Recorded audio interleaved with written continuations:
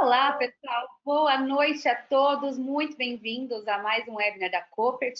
Agora com o tema BioTSI Trianum DS. Vamos falar desse produto que é exclusividade da Copert. Estamos começando agora às 18 horas. Uma boa noite para todos vocês. Bem-vindo aos meus palestrantes. Que bom ter todos vocês. Olha que time de peso, né, que a Copert trouxe aqui para a gente.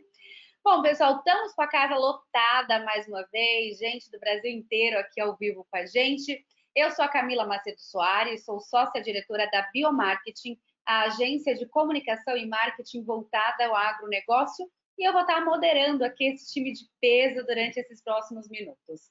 Bom, boas-vindas aos meus palestrantes e vou apresentá-los em ordem das palestras que nós teremos aqui na próxima hora.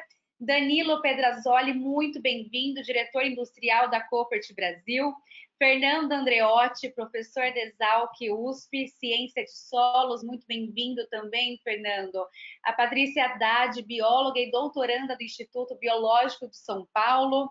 Fabiano Denis de Paula, biólogo também e proprietário Futura Agronegócios e o Marcelino Borges de Brito, que é coordenador de desenvolvimento agronômico da Cooper. Sejam todos muito bem-vindos e já de antemão agradeço a participação, um prazer ter vocês aqui com a gente. Bom, pessoal, nossa agenda está da seguinte forma: nós vamos ter agora as palestras, tá? Cada um dos nossos convidados vai falar por 20 minutinhos. E em seguida, nós vamos abrir um debate de perguntas e respostas para que os nossos palestrantes possam responder suas dúvidas e curiosidades, tá bom? Então, o importante é, o debate já está aberto, você a partir de agora já pode enviar suas perguntas, suas dúvidas, seus comentários e, por favor, envie, vamos interagir, é ao vivo, a gente espera a participação de vocês e aí, daqui, logo em seguida das palestras, a gente já faz as perguntas para os nossos convidados, tá bom? Bom, então estamos ao vivo, né? E eu queria só fazer uma breve introdução aqui desse produto que vai ser o foco do nosso encontro de hoje, o Trianon DS. Ele é o primeiro produto biológico composto por fungo aqui no Brasil e pode ser utilizado no tratamento de semente industrial. O produto é uma exclusividade da Coopert e apresentou nos campos demonstrativos realizados agora na safra de 2019-2020 uma redução significativa na incidência e na severidade dos patógenos de solos, fungos e nematóides. Além disso, ele promoveu o crescimento de raiz e parte da área das plantas, que acarretou um incremento médio de 3,4 sacas por hectare nos campos de soja. E outra forte vantagem também do produto é que ele apresentou proteção dupla às plantas, pois tem tanto o potencial de proteger as raízes de dois patógenos, os fungos e os nematóides de solo, que trazem grandes prejuízos aos agricultores se não controlados adequadamente, todos nós sabemos disso, né? Bom, então vamos lá, aberta a parte das nossas palestras e vamos começar com Danilo Pedrazoli. Danilo, é contigo. Vamos falar agora então da tecnologia na produção de bioproduto para tratamento de sementes. Olá, Camila. Muito obrigado. Primeiramente, boa noite a todo mundo que está assistindo. Sejam todos bem-vindos. Muito obrigado por participarem conosco desse, desse webinar. É um prazer muito grande apresentar para vocês e falar um pouquinho sobre o Triângulo DS e sobre as tecnologias que nós temos é, a oferecer no mercado brasileiro. Gostaria de agradecer também a todos os meus colegas participantes que aceitaram o convite do webinar, é, sem é, citar os nomes, mas todos que a Camila já acabou de, de mencionar como palestrantes, e também a equipe da Meu Marketing, Camila, especialmente a você, por essa parceria uh, na condução dos nossos webinars, das apresentações. É uma oportunidade incrível e o acesso que a gente tem ao mercado através de vocês é algo único. Então, de novo, muito obrigado a todos. Vamos lá, vamos falar um pouquinho sobre o Trianon hoje. Trianon DS é uma marca global da Coopert. Para quem não conhece a Coopert, a Coopert é uma multinacional é, do setor de biológicos. Nós temos 100% do nosso portfólio de produtos biológicos nós trabalhamos é, em todos os continentes, são 28 subsidiárias, mais de 100 países atendidos, e nós estamos no Brasil desde 2011 e é, comercialmente ativos ou no mercado desde 2012. O Triano é uma marca global, o nome Triano vem de Tricoderma harzianum, é uma abreviação desse, é um link desse nome, e esse produto ele foi lançado agora recentemente, especificamente para o tratamento de sementes e, em especial, tratamento de sementes industrial. É o primeiro produto para uh, o tal tratamento no mercado brasileiro e um dos primeiros no mundo à base de fungos. Uh, a gente tem vários produtos à base de, de bactérias, geralmente bacilos, mas o Triano é o primeiro deles. Esse produto é produzido em Prescaba, nós temos duas unidades, uma de macro-organismos, ou seja, o que você consegue enxergar, ácaros, insetos, e uma unidade de micro-organismos, onde nós produzimos uh, vírus, bactérias e fungos diversos uh, para diferentes finalidades, controle de pragas e doenças na agricultura. Falando um pouquinho do, do, do Triano, nós temos dois produtos hoje disponíveis no mercado. O tricodermil, que é uma cepa uh, um isolado brasileiro, isolado 1306, e nós temos o triano, que é um outro isolado chamado T22. Este isolado apresenta uma peculiaridade muito interessante, que é de onde ela veio, como ela foi desenvolvida. Diferente das cepas tradicionais de tricodermas que você tem ao redor do mundo e que, é, por sinal, é, é um dos gêneros mais utilizados em controle biológico de patógenos de solo ao redor do mundo, é, você tem esta cepa desenvolvida na década de 80 na Universidade de Cornell, nos Estados Unidos, e ela não foi isolada simplesmente de um solo através de um programa de, de, de screening, de isolamento de cepas, seus resultados, mas ela foi desenvolvida em laboratório. Ah, mas é uma cepa geneticamente modificada? Não. Ela foi, é, lá na década de 80, é, gerada através de uma técnica chamada de fusão de protoplastos. Basicamente, para simplificar, você tem diferentes isolados com diferentes propriedades, ou capacidades, e eles foram fundidos em uma única uh, cepa, um único isolado, gerando o isolado T22. É, os, dois, uh, os dois tricodermas que geraram esse isolado foram foi um tricoderma que foi isolado em solos uh, no estado de Nova York, nos Estados Unidos, e uma cepa que veio uh, isolada da Colômbia, com alta capacidade de supressão e controle de doenças de solo.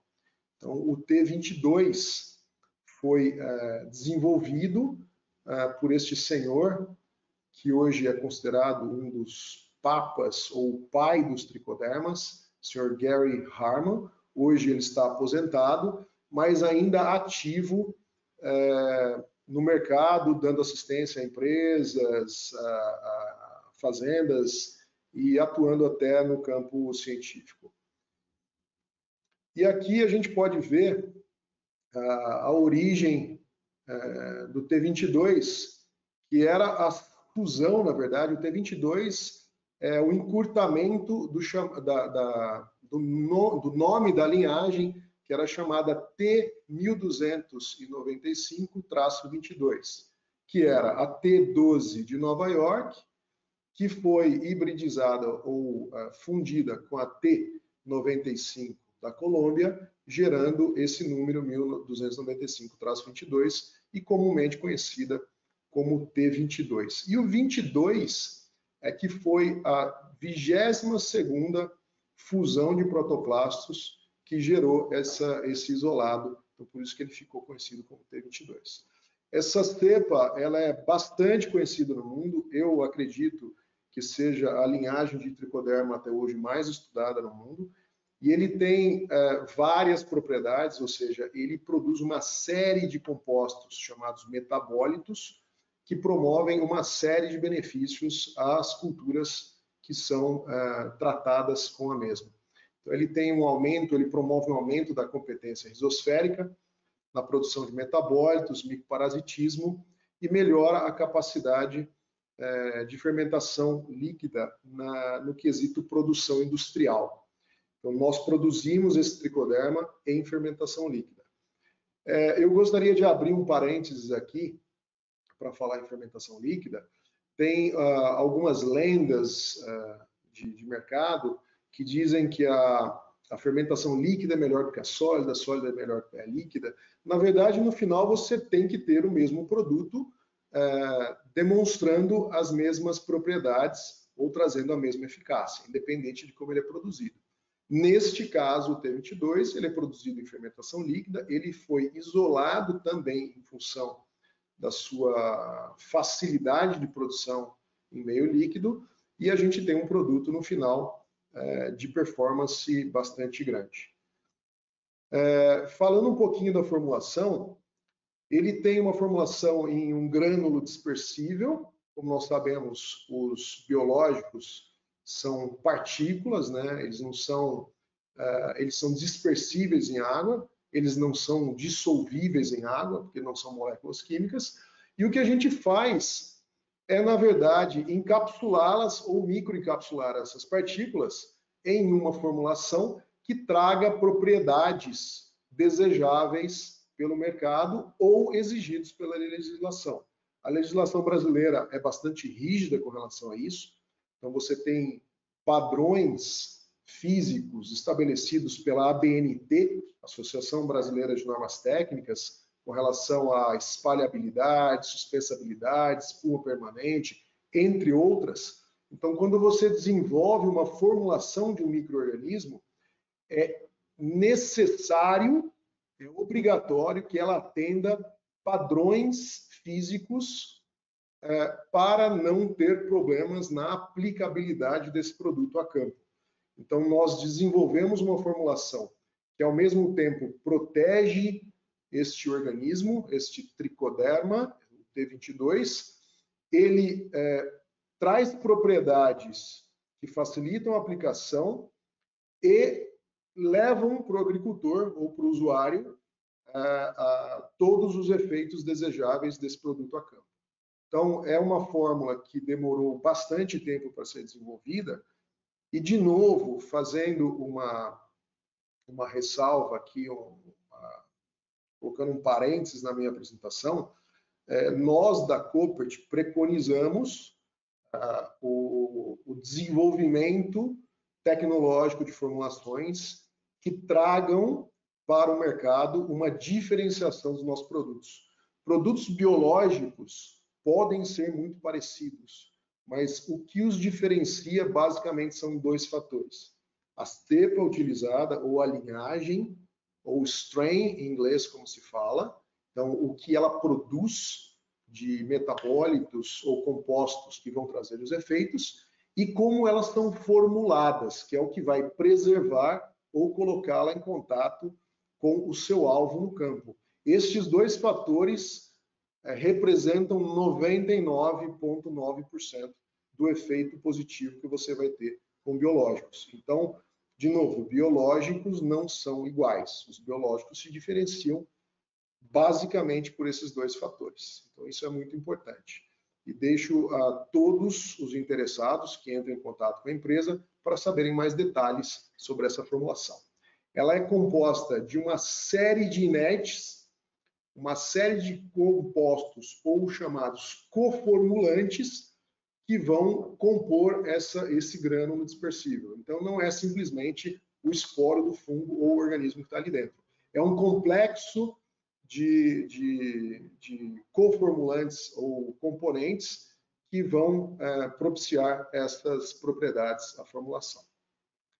Quando a gente fala é, em formulação, eu coloco aqui nessa, nessa tela, só para vocês entenderem, é, a gente tem é, três tipos hoje no mercado de formulações de biológicos. Você tem os esporos puros, é, ou chamado SP, que o pessoal coloca, que é o esporo, e que não é desejável porque ele, ele é hidrofóbico, ele não mistura em água, ele está exposto ao ambiente e ele, o, o ambiente é, pode degradá-lo ou até mesmo o contato com produtos químicos quando você vai fazer aí uma ideia de tratamento de sementes dentro do manejo integrado. Você tem uma formulação chamada WG, que é a formulação em questão do produto que a gente está falando, e você tem uma formulação chamada WDG, que ela tem um formato diferente, elas são grânulos que se dispersam em água, mas WG e WDG apresentam fisicamente, após a diluição na água, o mesmo aspecto. É só o aspecto da, da formulação antes dessa diluição que é diferente. E, lógico, a tecnologia de produção delas difere também. É, bom, falando um pouco da composição, como eu disse para vocês, a gente tem uma cepa específica desse produto, que é a grande novidade no mercado, que é 10% dessa formulação, sendo que 90, desculpa, 1% da formulação e 99% são compostos ou componentes que propiciam não só a performance física, mas a proteção do organismo. E este é o grande segredo do controle biológico no nosso ponto de vista. É trazermos tecnologia aos micro-organismos que propiciam os resultados que mais tarde o meu colega Marcelino vai é, discutir com vocês e eu creio que o Fabiano também vai comentar depois mais tarde. É, a gente tem uma foto aqui ilustrativa da nosso Parque Fabril. A Coopert no mundo tem apenas duas fábricas de micro-organismos. Uma é na nossa matriz na Holanda e a outra é na nossa subsidiária aqui do Brasil, em Piracicaba, onde nós temos a planta de micro-organismos. Bom, basicamente eu fui rápido, bastante sucinto. Eu queria agradecer a todos pela atenção e fico 100% disponível para dúvidas ou qualquer outra observação que vocês queiram. E, de novo, muito obrigado, é um prazer estar aqui com vocês. Danilo, nós que agradecemos. A gente teve agora uma aula né, sobre tecnologia na produção de bioproduto para tratamento de sementes. Muitíssimo obrigada. Acho que deu para aprender bastante aí, né, com Danilo. Falamos da construção do T22, né, do aumento de competência risosférica, a melhoria de capacidade da fermentação líquida, também agora da formulação tanto dos esporos T22 não desejáveis, né, como ele fala, o WG, que é do produto em questão que a gente está falando, o WDG, e agora, né, nossos palestrantes vão acabar complementando bastante todo esse conteúdo trazido pelo Danilo. E agora gostaria de chamar, então, nosso segundo palestrante, Fernando, seja muito bem-vindo. O Fernando Andreotti, ele é professor de Exalc USP na área de Ciências de Solo e vai falar sobre o uso de biodefensivos no sistema solo. Fernando, a palavra está contigo. Tá, Camila, é, muito boa noite, né? Muito boa noite a todos vocês, aos participantes que estão aqui na nossa, na nossa, na nossa live. Para mim é um prazer participar, agradeço muito o convite, a confiança da Copert em me eleger como um dos participantes, espero corresponder às expectativas, né? E a minha missão, acho que nessa live, é trazer uma visão teórica acadêmica do processo do uso de biodefensivos na agricultura, onde se encaixa todo o arsenal de informações que vocês estão apresentando aí, né? Muito interessante, sempre aprender novidades, né? E hoje é um dia desses a gente aprender coisas novas, ver inovações que estão chegando na agricultura aí. Então, para a gente caminhar num, num passo teórico importante aí na visão acadêmica, né? Na visão teórica de biologia do solo, eu tentei fazer um, um, um, um, alicerce sobre onde se hospeda essa, esse uso de biodefensivos da agricultura, para que a gente entenda exatamente em que passo a gente está e para onde a gente caminha quando a gente fala de uso de biológicos na agricultura. Um tema super crescente, sem dúvida nenhuma, né? mas que também carrega, junto com a sua, seu uso crescente, uma série de dúvidas que nós temos que começar a não a eliminar, mas sim fornecer explicações para que quem usa o recurso possa ter mais segurança e assertividade na aplicação dos recursos biológicos. Então, eu gosto de começar sempre colocando assim uma visão generalista da agricultura, entendendo que nós temos a missão, nós que trabalhamos nesse ambiente e agricultura, né, a missão de cada dia mais trabalharmos na busca de uma eficiência alta na produção de plantas. Uma tarefa que parece simples à primeira vista para quem é leigo nesse assunto, mas para quem se envolve na agricultura entende o quanto nós temos que ser eficiente para que nós tenhamos viabilidade econômica da nossa atividade e mais que isso, que a gente tenha sustentabilidade da nossa atividade.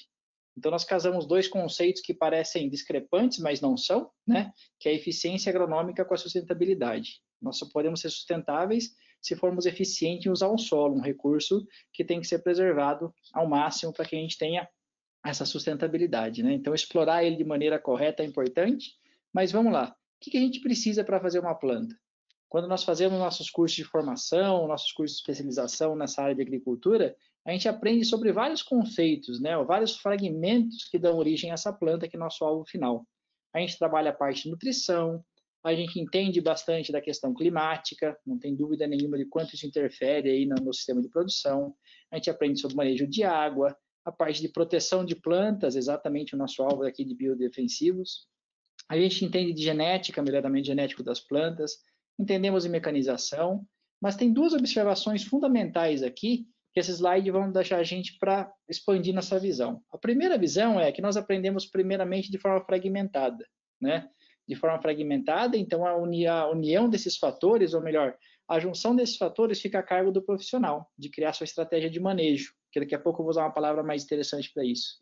E outra coisa que é interessante na agricultura é que essas caixinhas aqui não param de aparecer na nossa vida, né? Ou seja, nós temos um sistema aberto à inovação. A agricultura é um setor que aceita a inovação né?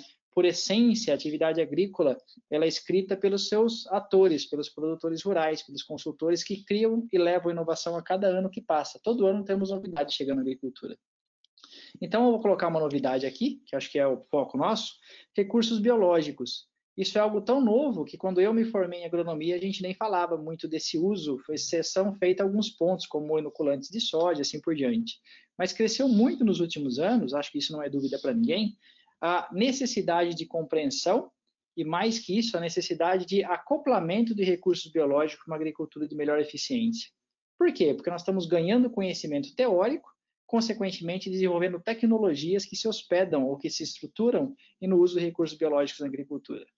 Então, se nós casarmos todos esses conceitos, e vamos agora englobar o recurso biológico nesse nosso mapa de uma agricultura eficiente, a gente pode entender que esse manejo agrícola, né, que embute o conhecimento prático de quem está lá na ponta da cadeia usando os recursos que nós aprendemos, ele pode ter, ser até chamado, num termo muito mais atual e charmoso, né, talvez até com maior valor agregado, de inteligência agrícola. Por quê? Essa inteligência agrícola nada mais é do que conectar os diferentes fatores do sistema de produção da maneira mais eficiente possível para que a gente possa produzir plantas.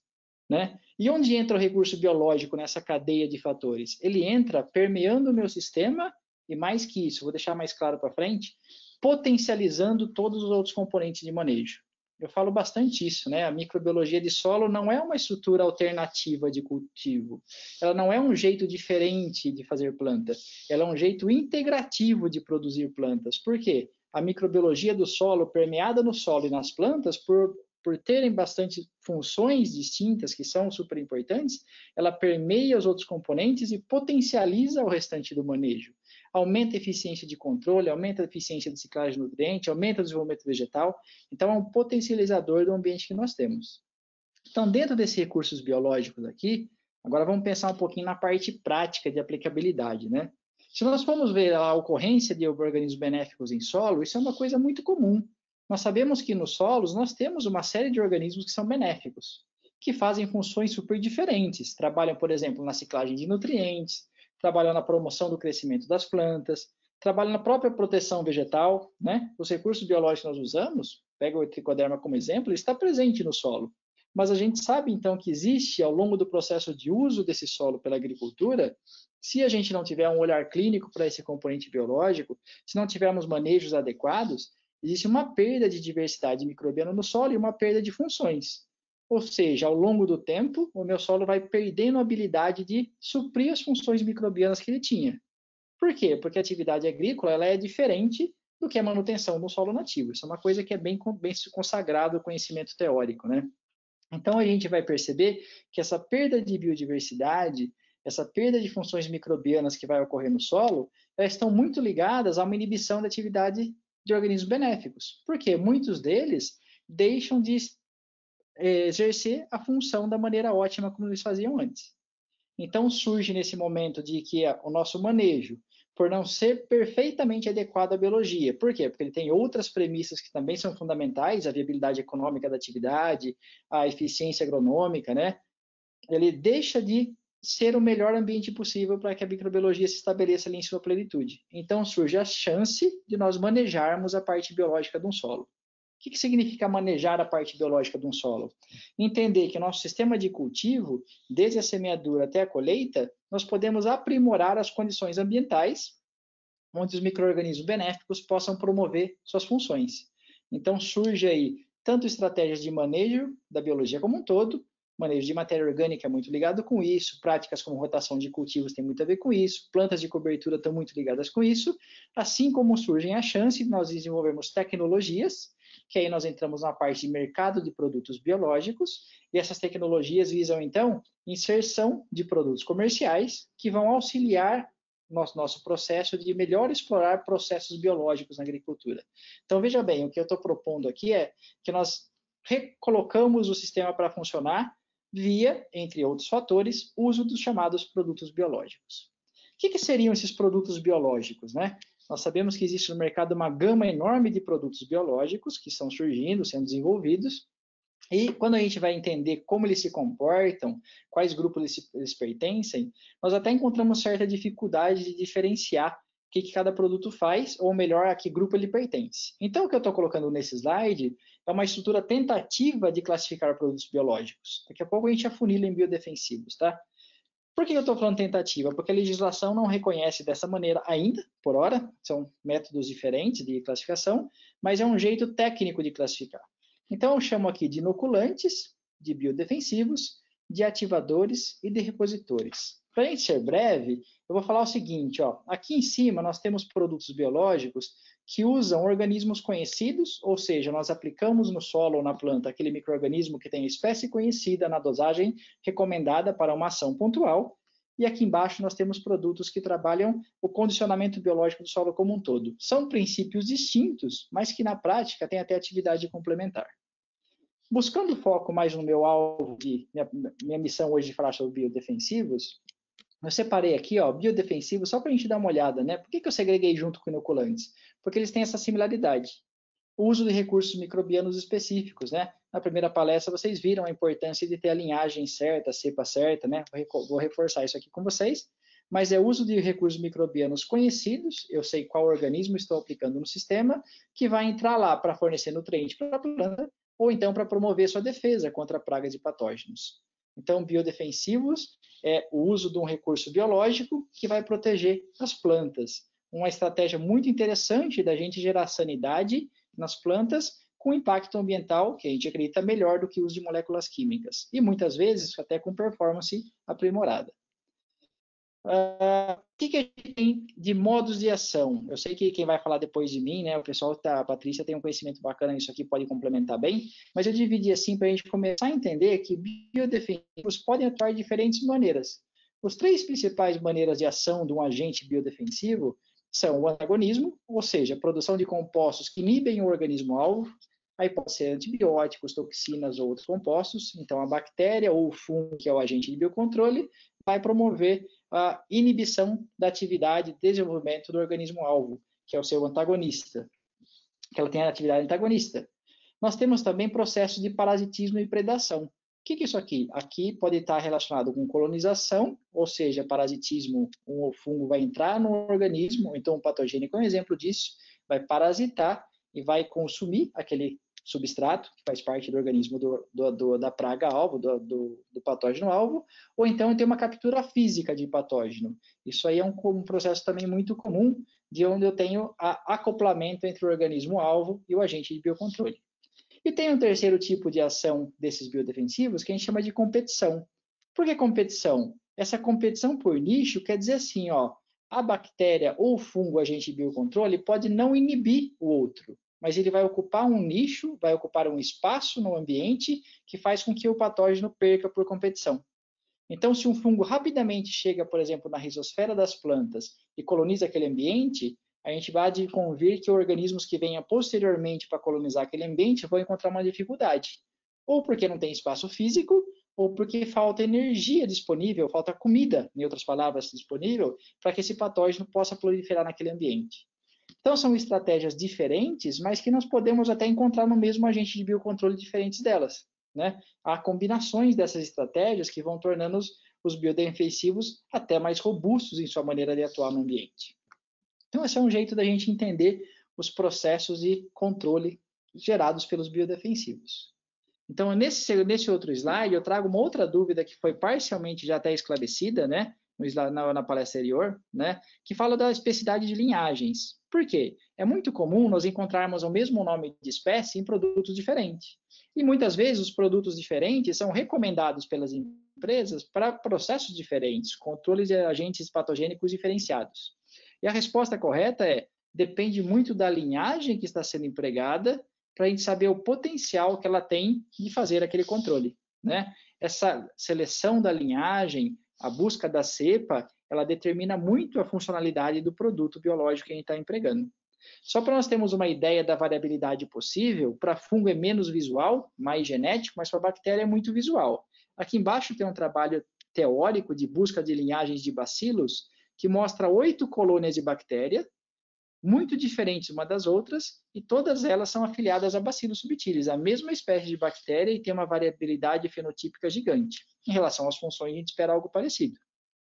Isso se reflete para outros organismos que são estudados. Né? Então, muito se dá pela linhagem que nós trabalhamos. Outra coisa importante é que essas linhagens ou os grupos trabalhados, eles têm, exatamente como foi comentado anteriormente, a necessidade de ser um organismo passível de produção e formulação. E daí vem a importância de esporos, né, de formulação desses esporos, de estabilização desses esporos, para que nós tenhamos produtos viáveis em relação a vários parâmetros, que já foi muito bem explorado, não vou repetir aqui, né? Qual que seria, com base então nesse conhecimento, que as linhagens são importantes e cada uma tem seu potencial, qual a próxima dúvida? Próxima dúvida que eu recebo muito e gostaria de comentar com vocês é como que a gente trabalha inoculação de solo? A gente aplica muitos micro-organismos, aplicamos, aplicamos poucos micro-organismos, muitas vezes surge esse tema, que, esse termo que o pessoal usa, a gente está inundando solos quando aplicamos agentes de bio, biocontrole, os biodefensivos? Eu nem gosto desse termo que parece que a gente vai matar tudo que está lá e vai ficar só o que a gente pôs, né? Então, para fazer essa visualização, tem um exercício prático bacana, ó. Concentrações de produtos biológicos. Eu peguei aqui uma variabilidade de produtos que estão no mercado, diferentes produtos, diferentes agentes, tá? Varia de 10 a 7 a 10 a 11 células por ml ou grama. Dosagens recomendadas. Varia de 0,1 até 2 litros por hectare ou quilos por hectare. Então, eu peguei um valor médio um valor médio de concentração e de dosagem, o que me dá isso aqui, ó, 10 a 9 células por ml, considerando a formulação líquida, né, e uma dosagem de 1 litro por hectare. Então, tenho o número de células, né, que eu faço exatamente a concentração, vezes a dosagem, que eu espalho em um hectare, estou acreditando que ele vai percolar 10 centímetros para calcular a distribuição disso no solo. Se nós fizermos essa conta, pegar esta concentração e esta dosagem neste volume de solo, nós vamos chegar nesse número aqui, ó. Nós estamos colocando 10 mil, desculpa, mil células, 10 a 3 mil células ou mil esporos por grama de solo. O que é um número absoluto bastante alto, né? Imagina, você aplica isso a dosar um litro por hectare, você está pondo mil células novas para cada grama de solo. Isso é um número absoluto representativo daquela cepa que você sabe que faz o serviço certo, né? Mas quando eu comparo com a comunidade nativa do solo, esse número se torna pequeno em relação ao total. Porque, na média, o solo vai ter 10 a 8 células vivas por grama. De 10 a 7 a 10 a 9, 10 a 8. Então, quer dizer, para quem é bom de potência aí, né? Se eu colocar 10 a 3 em cima de 10 a 8, vai dar 10 a menos 5. Ou seja, eu vou pôr uma célula nova para cada 100 mil células que já tem no solo. Então, isso mostra que a gente é eficiente em inocular micro-organismos em solo, eles devem performar bem lá, mas nós temos uma baixa chance de estragar o que está no solo. Por quê? Porque é uma pequena parte dentro de um todo que já existe ali que nós estamos adicionando. Só notícias boas, né? Então, nosso manejo parece bem assertivo em relação a isso. Próxima pergunta que surge, né? Entendemos que a especificidade de cepa existe, entendemos como é que a gente trabalha, quanto que a gente inocula, não estamos estragando o que está lá, estamos colocando uma quantidade absoluta, é, absoluta bacana. A próxima pergunta é: existe incompatibilidade de mistura de micro-organismos? Esse tema está super aberto e eu acredito que possa ter palestra depois que fale o contrário do que eu estou falando, porque a gente está sempre estudando isso. O que, que eu queria destacar nesse ponto? Ah, eu trabalho com duas linhagens, uma linhagem, uso dois produtos biológicos muita dúvida prática nisso. Então, a primeira coisa importante é resultados laboratoriais não necessariamente se refletem no campo. Isso aí todo mundo sabe que é consenso. O que, que vai me falar sobre incompatibilidade de mistura? De novo, surge a questão de formulação. Ficou bem claro na primeira palestra que a formulação busca preservar o recurso biológico de forma não ativa. Ele está ali guardadinho, né, no esporo, de maneira estável, para chegar no campo e aí sim fazer a sua aplicação. Então, quando eu coloco esse produto numa forma adequada, numa cauda que vai ser rapidamente aplicada, onde o período de ativação e atividade é exatamente o adequado, eu dificilmente eu tenho tempo para que esses organismos possam competir, né? Por quê? Porque eles estão em formas estabilizadas, não ativas nessa cauda. E se eu pensar que no solo aquele, aquela probabilidade de efeito cai, por quê? Porque esses organismos eles vão ser muito diluídos no conteúdo biológico como um todo. A gente falou que a gente põe uma célula nova para cada 100 mil, né? Então, se eu pegar duas células, uma de cada espécie, e puser lá no solo, pode ser que elas nem se encontrem, né? Pode ser que eles tenham atividade de antagonismo um do outro? Pode ser, mas esse efeito é muito diluído quando isso é aplicado ao solo. Quando é que nós vemos esse tipo de problema? Como nós temos formulações ruins, com fase vegetativa, organismos ativos produzindo compostos, e quando nós temos uma cauda que fica preservada por muito tempo, um tanque cheio lá por um, dois dias ou mais, para depois ser aplicado. Aí nós podemos ter isso. Né? Então é mais um ponto de questionamento prático, de dúvidas, que a gente pode depois discutir sobre isso, mas a ideia é esclarecer esse ponto. Vamos para mais um ponto. O microorganismo inoculado, ele fica no solo para sempre? Lógico que não, né? Por quê? Porque ele é um organismo exógeno, ele veio de outro ambiente e nós estamos produzindo e colocando no solo. Então, para a gente entender esse conceito, a gente tem que entender assim, ó, a gente inocula o microorganismo no solo e ele vai seguir diferentes padrões de sobrevivência. Esse verde escuro, onde ele se desenvolve e vai crescendo no tempo, ele é raramente encontrado. Isso acontece menos de 1% das vezes que nós aplicamos um agente biodefensivo no solo na maior parte das vezes, ele segue uma marcha de decaimento. De que nível? Quão rápido ele cai? Varia muito de acordo com o solo que eu estou aplicando.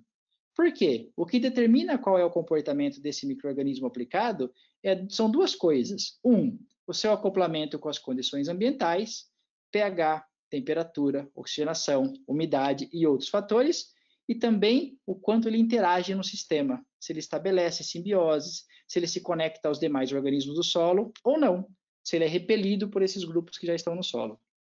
Só para a gente ter um exemplo de simbiose, se o organismo aplicado tem afinidade ao ambiente risosférico das plantas que estão sendo cultivadas, eu tenho uma maior chance que ele perdure no sistema por mais tempo. Por quê? A risosfera vai ser a fonte de comida para ele, então a chance dele estar ativo naquele solo vai ser maior. Essa é uma coisa muito interessante de se estudar, de se determinar. Né? Para eu não estourar meu tempo, estou caminhando para meus dois últimos slides, eu queria colocar o último, um primeiro aqui. Ó. Como que a gente avalia a qualidade biológica do solo? Né? Não vou entrar em parâmetros de avaliação de qualidade biológica como um todo, mas para biodefensivos, eu vejo como fundamental nós termos dados sobre monitoramento das populações que inoculamos.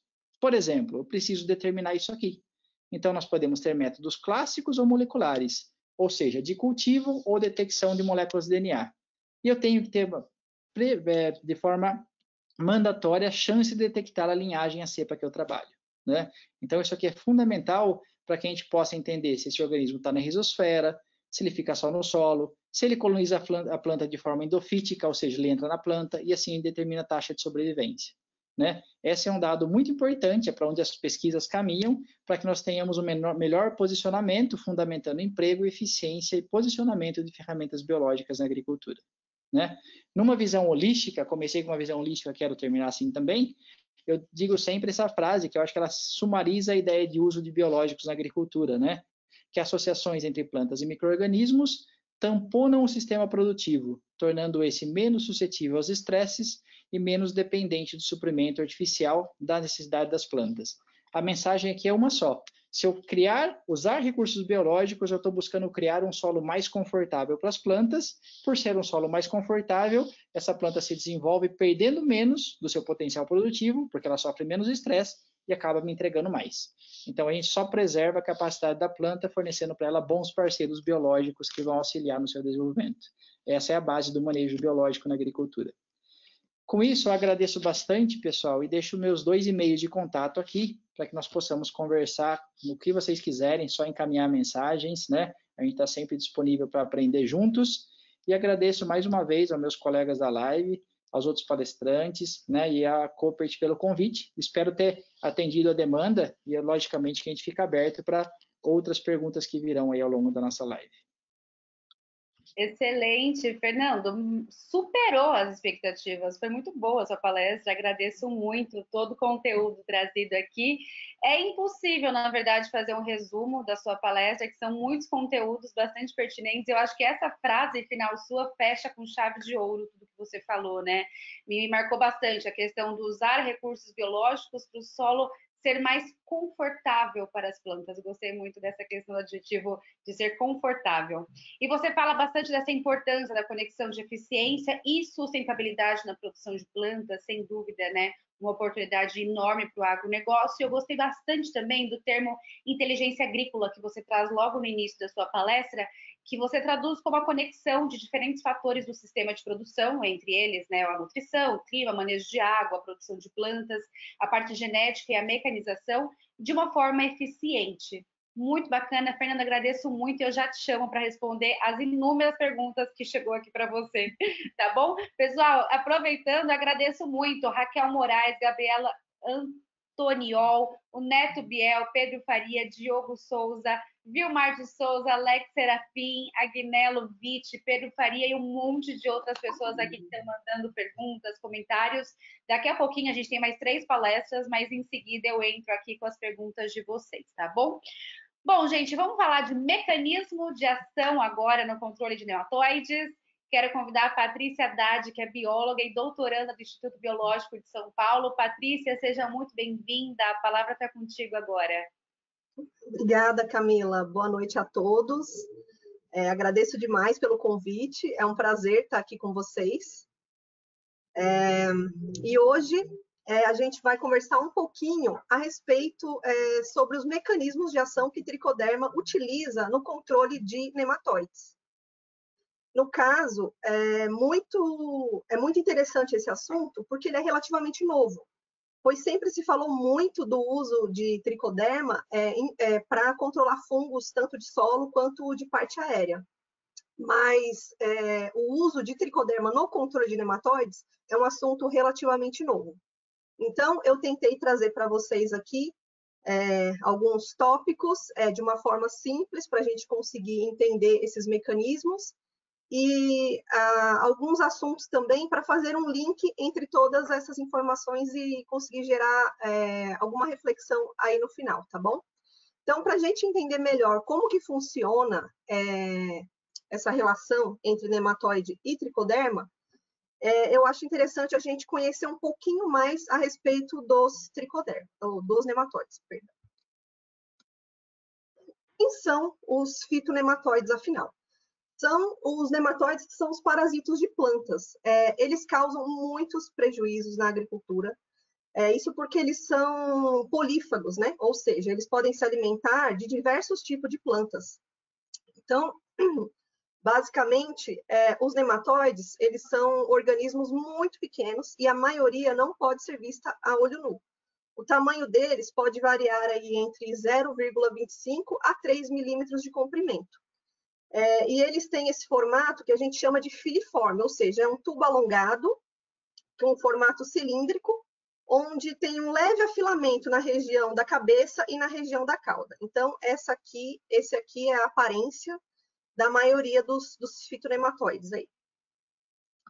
A única diferença fica por conta, é, por exemplo, das fêmeas de algumas espécies é, de nematóides. No caso, é, conforme elas vão ficando adultas, elas tendem a perder esse formato filiforme e tornam é, e apresentam um diâmetro bem maior, ficando obesas e assumindo umas formas um pouquinho diferentes. Então, no caso, por exemplo, o gênero de é, meloidógene apresenta fêmeas com formato de pera, assim como globodera também.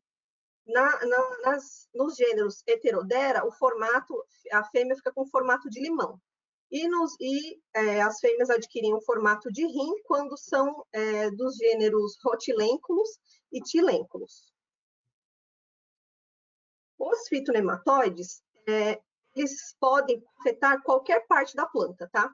É, existem os nematóides que se especializaram nos órgãos é, subterrâneos, como as raízes, os rizomas, os tubérculos e os bulbos, e tem os que se especializaram na parte aérea, que no caso são caule, folhas, é, flores, frutos e sementes também.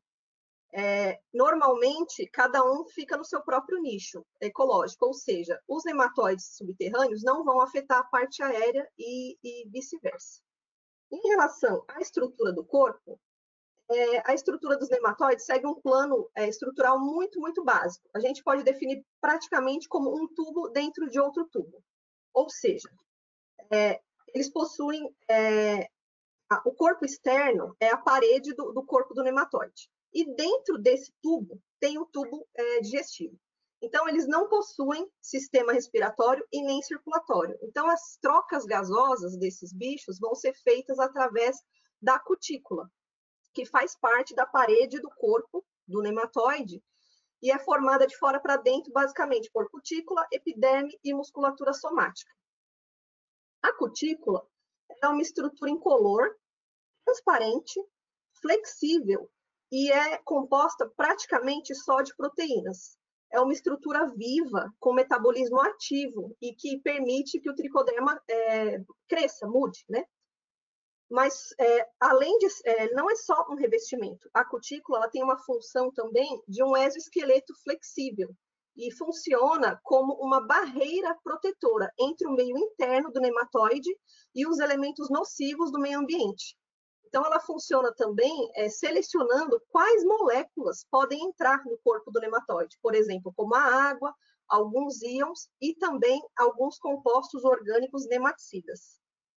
Aqui nós temos uma imagem da composição dos ovos dos nematóides, tá? Basicamente, todas as espécies de nematóides têm essa mesma composição, que é basicamente uma membrana proteica, bem aqui na parte externa, que está protegendo a membrana embrionária. Mais internamente aqui, nós temos uma camada de quitina, que está sobre uma camada lipídica, que é uma camadinha de gordura. Então, praticamente, os ovos de, de todos os nematóides contêm proteína, quitina e lipídio. É, o que vai diferenciar os ovos de, das diversas espécies de nematóides que, que existem vai ser a espessura de cada uma dessas camadas, certo? É, aqui nessa imagem, eu coloquei para vocês, é como que são os ovos de meloidógena incógnita quando a gente observa eles ao microscópio óptico. Como vocês podem ver, eles são bem diferentes da, da nossa ilustração. Né? como que a gente pode fazer o controle desses nematóides, né? É, os nematóides fitoparasitos, eles são muito difíceis de controlar quando a gente se é, compara eles com outras pragas ou patógenos. Por quê? Porque esses nematóides habitam o solo e, norma e normalmente eles atacam as partes subterrâneas das plantas, né? Então é um local de muito difícil acesso. É bastante complicado fazer controle de nematóide. Além disso, é, eles também apresentam uma ampla gama de hospedeiros, ou seja, praticamente tudo que se planta, o nematóide come, ele né, se alimenta daquela planta. Ah, o ciclo de vida deles é muito curto e a taxa de reprodução é extremamente alta quando as condições ambientais são favoráveis. Então, é relativamente bem difícil fazer controle de nematóide. Mas, é, normalmente, as medidas empregadas é, baseiam-se no manejo integrado, Normalmente o pessoal usa, não usa uma única medida, né? Então, normalmente o pessoal faz utilização de é, plantas antagônicas, eles podem fazer também adubação verde, utilizar cultivares resistentes, que não é fácil, porque nem toda planta tem é, resistência, né, conseguem se fazer cultivares resistentes.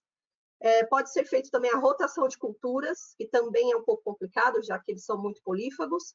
Existe a opção do controle químico, onde se utiliza os nematicidas, e também o controle biológico, que vai ser é, o foco da nossa palestra a partir de agora.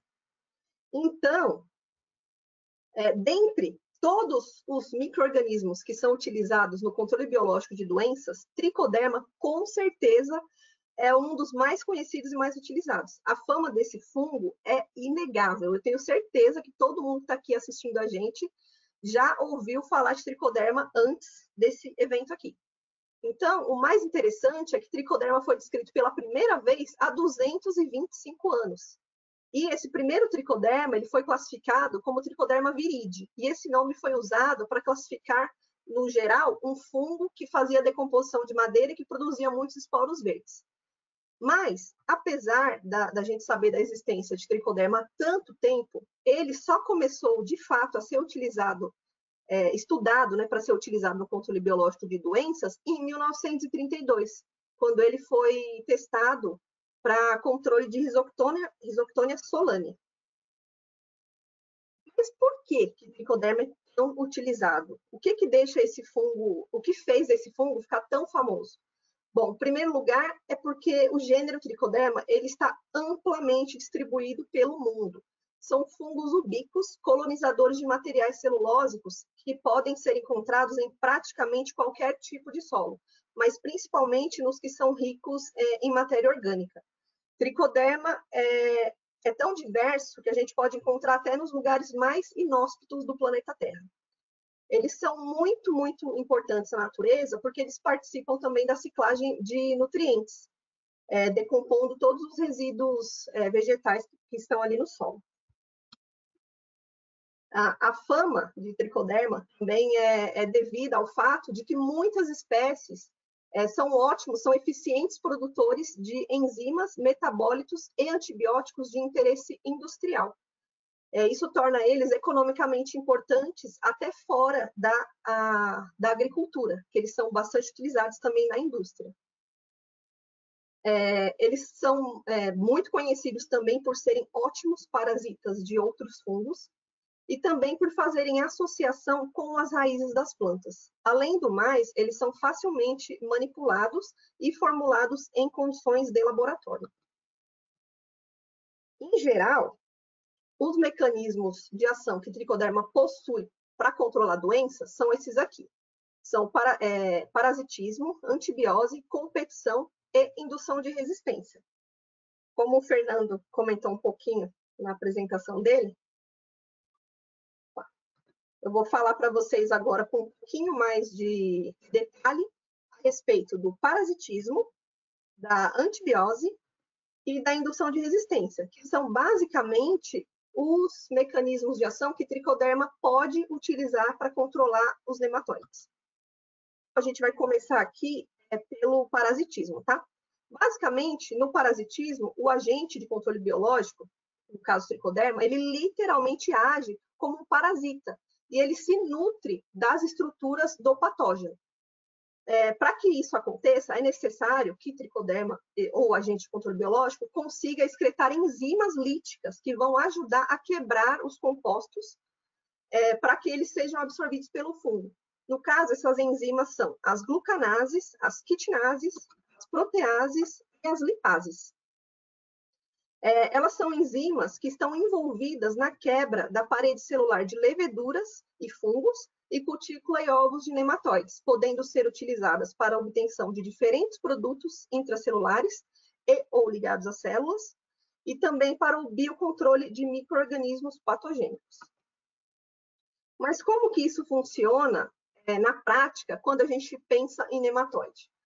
É, vocês lembram da composição do corpo do nematóide? A cutícula, que reveste o corpo, todo o corpo do nematóide, é formada basicamente por proteínas, é, a enzima que faz a quebra da proteína é a protease. Então, quando o tricoderma entra em contato com o juvenil, como a gente pode ver aqui na figura A e na figura C, é, ele começa, a hifa vai começar a crescer em direção a, a esse nematóide, assim como acontece é, quando ele vai parasitar um outro fungo, ele vai começar a se enrolar no corpo desse nematóide, e depois que esse nematóide estiver totalmente enovelado, tricoderma vai excretar as enzimas proteases, que vão fazer a quebra das proteínas dessa cutícula em pedaços bem pequenos, para esse tricoderma conseguir absorver o conteúdo é, celular ali presente.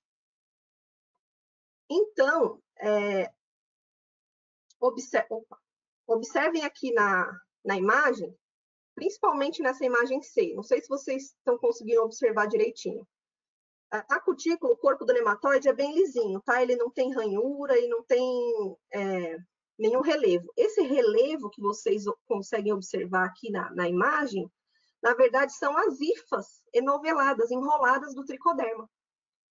É, e isso também acontece com os ovos. É, lembram da composição do ovo? Proteína, quitina e lipídio. Tricoderma tem a capacidade de produzir enzima que quebram todos esses substratos.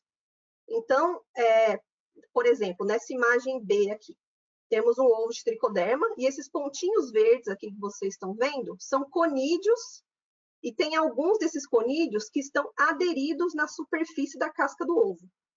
E como que isso vai acontecer? O conídeo se adere, aí ele vai germinar. Vai emitir um tubo germinativo que vai funcionar como uma espécie de apressório, tá? Que é como se fosse um ganchinho, entre aspas, que vai ajudar a IFA a ficar fixa na, na casca do ovo enquanto ela cresce para enovelar esse ovo também. A partir desse momento, o tricoderma vai liberar as enzimas que vão fazer a quebra né, da, dessas substâncias na casca do ovo e o parasitismo vai se dar dessa forma e ele estará completo. Quanto maior o número, maior a diversidade de enzimas é, o fungo produzir, mais vantagens ele terá em viver em, em vários ambientes totalmente, totalmente distintos. Isso porque, independentemente do cardápio disponível, ele vai conseguir obter nutriente para crescer é, e sobreviver.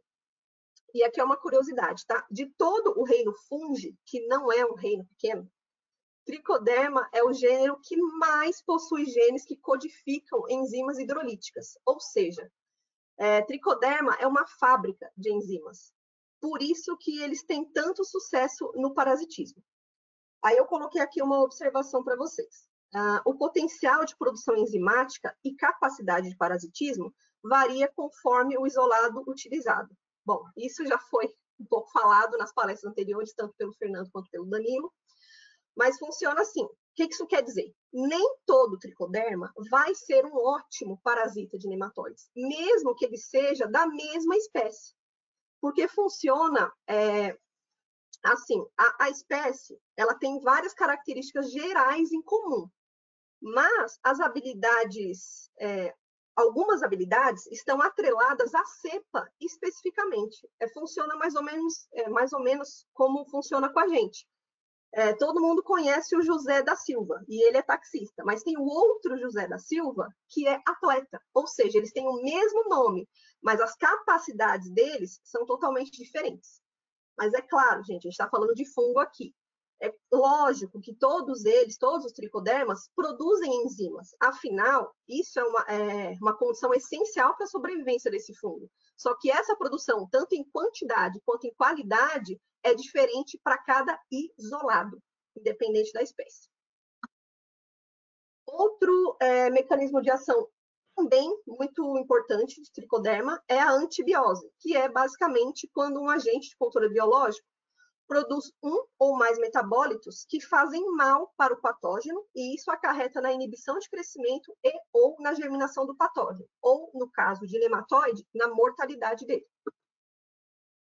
Aqui nessa, nessa tabelinha aqui do lado esquerdo, nós temos é, vários compostos orgânicos voláteis que são produzidos, os identificados, tá? Que foram produzidos por isolados de tricoderma que apresentam atividade nematicida. Nessa outra tabelinha, eu trouxe para vocês as espécies é, de tricoderma que produzem os compostos orgânicos voláteis com atividade nematicida, que é, reconhecidamente, tá? Então, no caso aqui, são é, Tricoderma longibrachiatum, Tricoderma viride, Tricoderma harzianum, Tricoderma matum, Tricoderma virens, Tricoderma compactus e Tricoderma coninge. Nessa imagem aqui, eu trouxe para vocês é, um, um experimentozinho que foi feito com metabólitos voláteis. É, essa substância aqui, com esse nome enorme que os químicos adoram, é, também é conhecida como 6-PP, é a substância, é o composto que é responsável pela cor amarelada e o cheiro de coco, é, características, característicos de algumas cepas de tricoderma, tá? Então, eles isolaram esse composto é, e aplicaram ele em, nesses nematóides aqui, Panagrelos redivivos, Cenorhabditis elegans e Bur, Bur, Bursaphelenchus xilófonos, na concentração de 200 miligramas por ml. E após 48 horas de exposição, é, apresentou resultado de 85% de mortalidade desses é, nematóides. Já esse outro composto aqui, também de tricoderma, chama tricodermina, ele foi aplicado na concentração de 400 miligramas por ml em Panalegros redivivos e Cenorhabditis elegans, e após 72 horas, 95% de mortalidade foi o resultado encontrado. É, todos os compostos vão ter a sua ação mediada tanto pela dose quanto pelo tempo de contato, tá? Com os nematóides. É, e isso vai ser diferente tanto para cada composto em si, como também para cada nematóide, porque eu não coloquei aqui, mas nesses são experimentos separados, tá? Nesse experimento aqui, por exemplo, eles testaram com outro nematóide também, e essa mesma tricodermina apresentou somente 52% de mortalidade. Então, isso também vai variar dependendo do, da espécie do nematóide.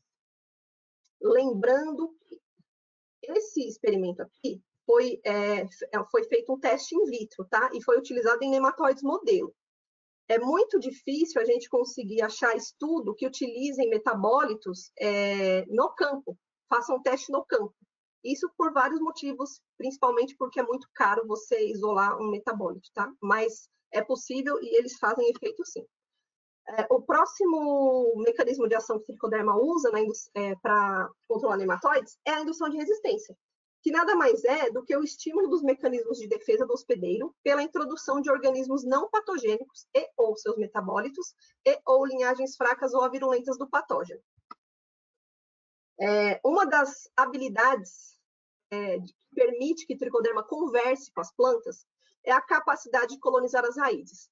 Toda a interação entre a planta e o fungo se dará quando o tricoderma for capaz de colonizar o sistema radicular desse hospedeiro. Então, de uma forma muito simplificada, a indução de resistência vai acontecer da seguinte forma.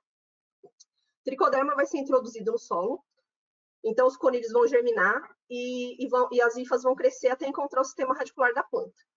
Aqui nessa imagem ele está representado por esses quadradinhos verdes, tá? É, então ele vai começar a crescer pelas raízes e vai começar a colonizar.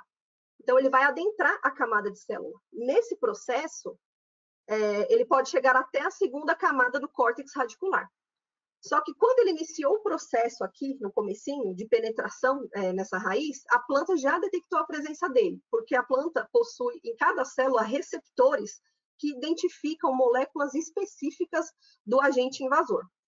Então, a planta simplesmente já sentiu, no caso, ela detectou a presença do invasor e as vias de defesa já foram totalmente ativadas. Então, inicialmente, a, a planta ela vai gerar uma resposta imune a esse ataque. Então, a planta vai começar a se defender, aumentando, por exemplo, a deposição de calose e lignina nas paredes celulares, assim elas vão se tornar mais fortes e mais duras, e vai ficar mais difícil a entrada de outro patógeno. Ela vai começar a acumular metabólitos é, secundários com propriedades antimicrobianas, como as alexinas vai começar a acumular proteínas de defesa, como as quitinases e as glucanases, que são as enzimas que hidrolisam a parede celular dos micro-organismos invasores. E a planta também vai começar a acumular é, fitohormônios, como ácido salicílico, ácido jasmônico e etileno, que são as principais substâncias sinalizadoras da, da resposta imune. Então, com o tempo, essa resposta que foi induzida pelo tricoderma, ela vai ficar, digamos, silenciada porque a relação entre o tricoderma e a planta vai ficar semelhante a uma associação micorrízica simbiótica, ou seja, a planta vai passar a enxergar tricoderma como se fosse um amigo. Só que é o seguinte, antes disso, é, essa defesa que o tricoderma ativou na planta, ela tem uma memória. Então, essa planta vai ficar é, apta a se defender com muito mais rapidez frente ao ataque de um patógeno verdadeiro, no caso, um nematóide. Então, é, de uma certa forma, a gente pode dizer que algumas linhagens de tricoderma é, agem assim como se fosse uma espécie de vacina contra diversos tipos de fitopatógenos. Por quê? Porque as barreiras formadas pela planta para evitar a entrada dos micro-organismos indesejados, elas não são específicas para um único microorganismo. Então, por exemplo, se a gente colocou o tricoderma aqui no, no sistema radicular, a gente consegue perceber aqui na parte aérea que até, ah, por exemplo, um inseto é, que vier predar aqui essa planta, até, até aqui a gente vai conseguir perceber a resposta da planta. É uma resposta total, na planta toda. Coloquei aqui um detalhe que é importante salientar, que um ou mais mecanismos de ação podem ser utilizados ao mesmo tempo pelas linhagens de tricoderma, tá? Isso pode estar acontecendo tudo junto e misturado, como o Fernando falou na palestra dele.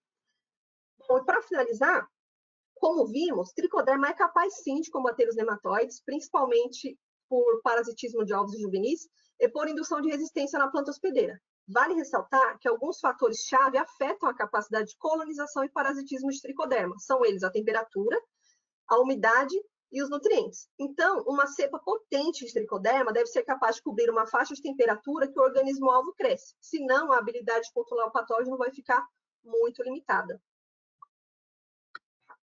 Eu gostaria de agradecer todo mundo pela atenção.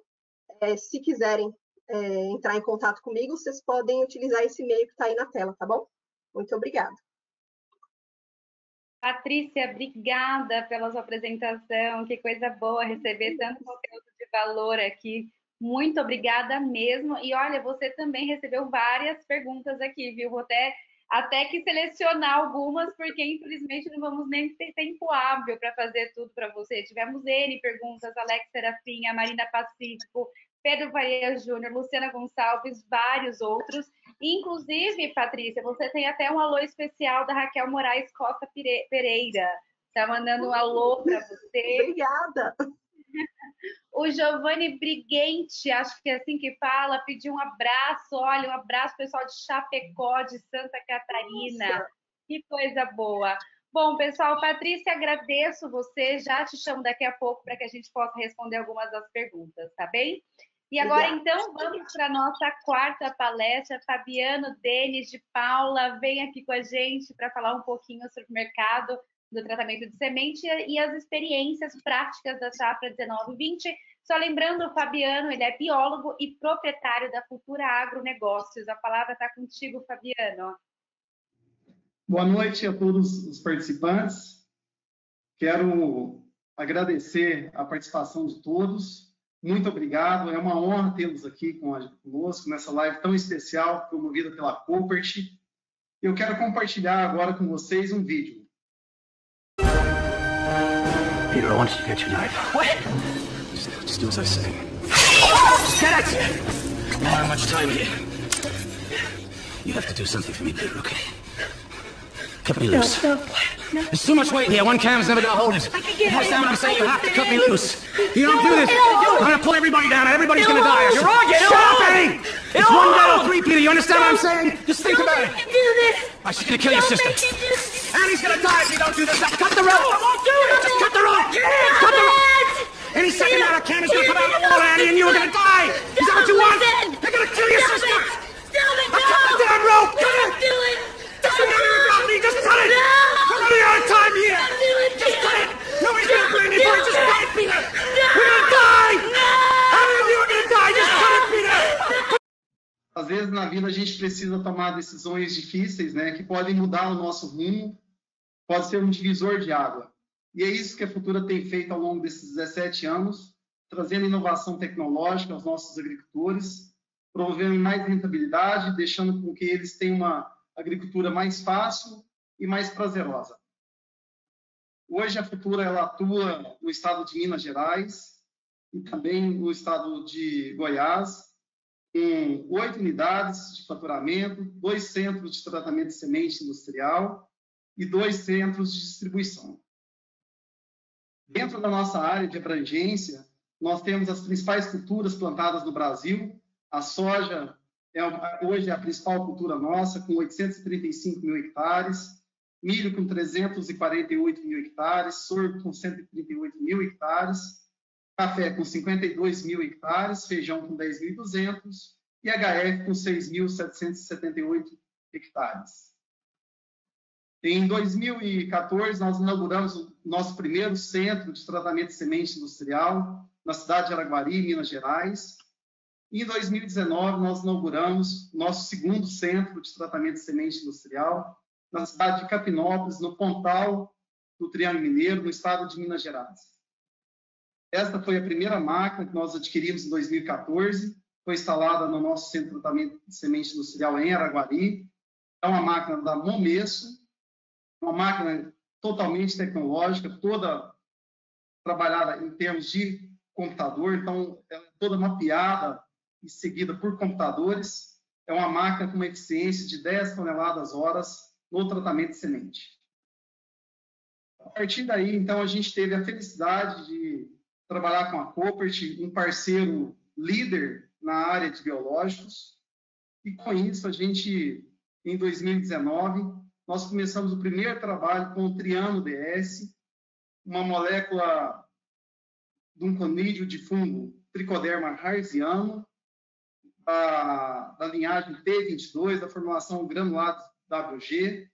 Especificamente, nós trabalhamos esse produto no controle de fusário, de macrofomina e dos principais nematóides, como o pratilete, nematóides cissos e nematóides de galha também. Em 2019, nós fizemos uma, um trabalho com uma dosagem de 1,5 gramas por quilo de semente de soja. Lembrando, lembrando que a gente pode chegar até 2 gramas por quilo de semente de soja, que também é a recomendação da Coopert. Vou mostrar para vocês rapidamente, através de um vídeo, a operacionalidade desse produto dentro da nossa máquina de tratamento de semente industrial. Aqui vocês podem ver que existem os tanques de expansão, um tratador secundário, e todo o sistema onde é feito a parte de computadorização da máquina, onde é feito ah, as leituras pelos computadores, que fazem com que a máquina, no final, ela tenha um desempenho de 100% no tratamento de semente. E esse é o produto final que nós temos depois que a soja passa por todo o sistema da máquina, da Momesso. Esse é o produto final que nós Aqui nós temos já a soja já com inseticidas, fungicidas, com triângulo DS já aplicada na semente.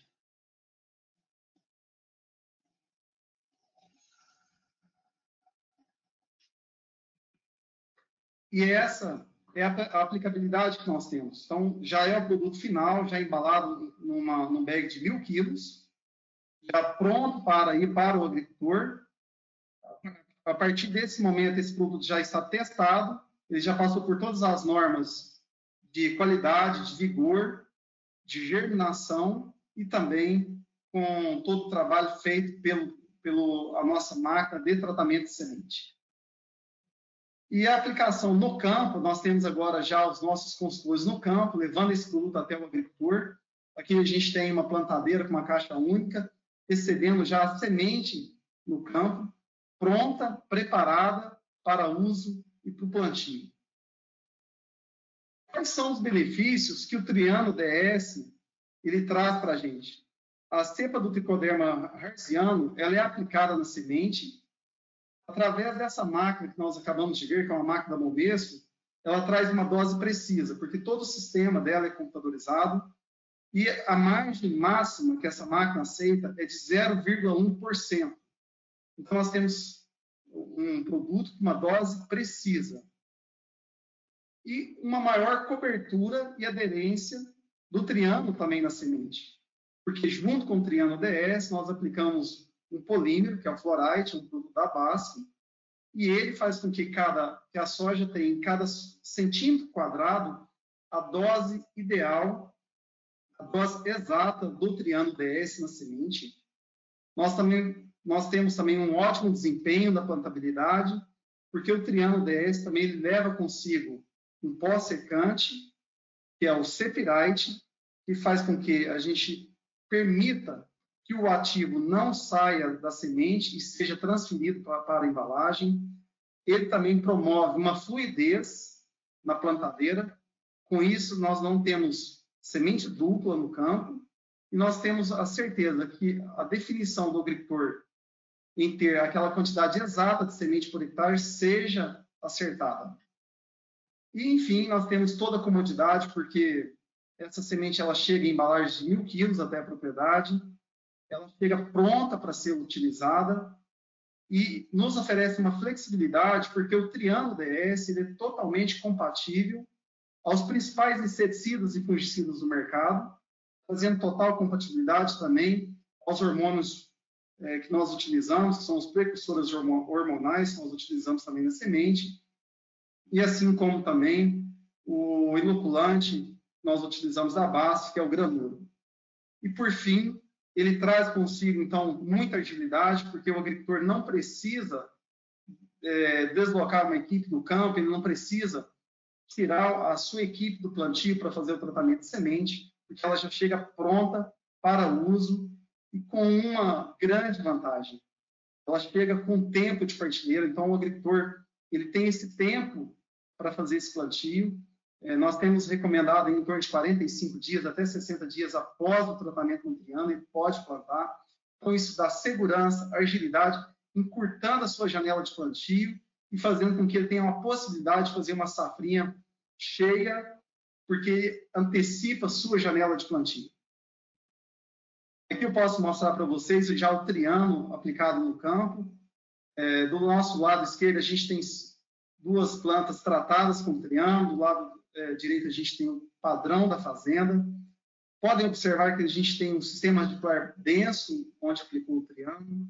Nós temos uma, uma, uma parte foliar mais densa, comparado ao tratamento padrão.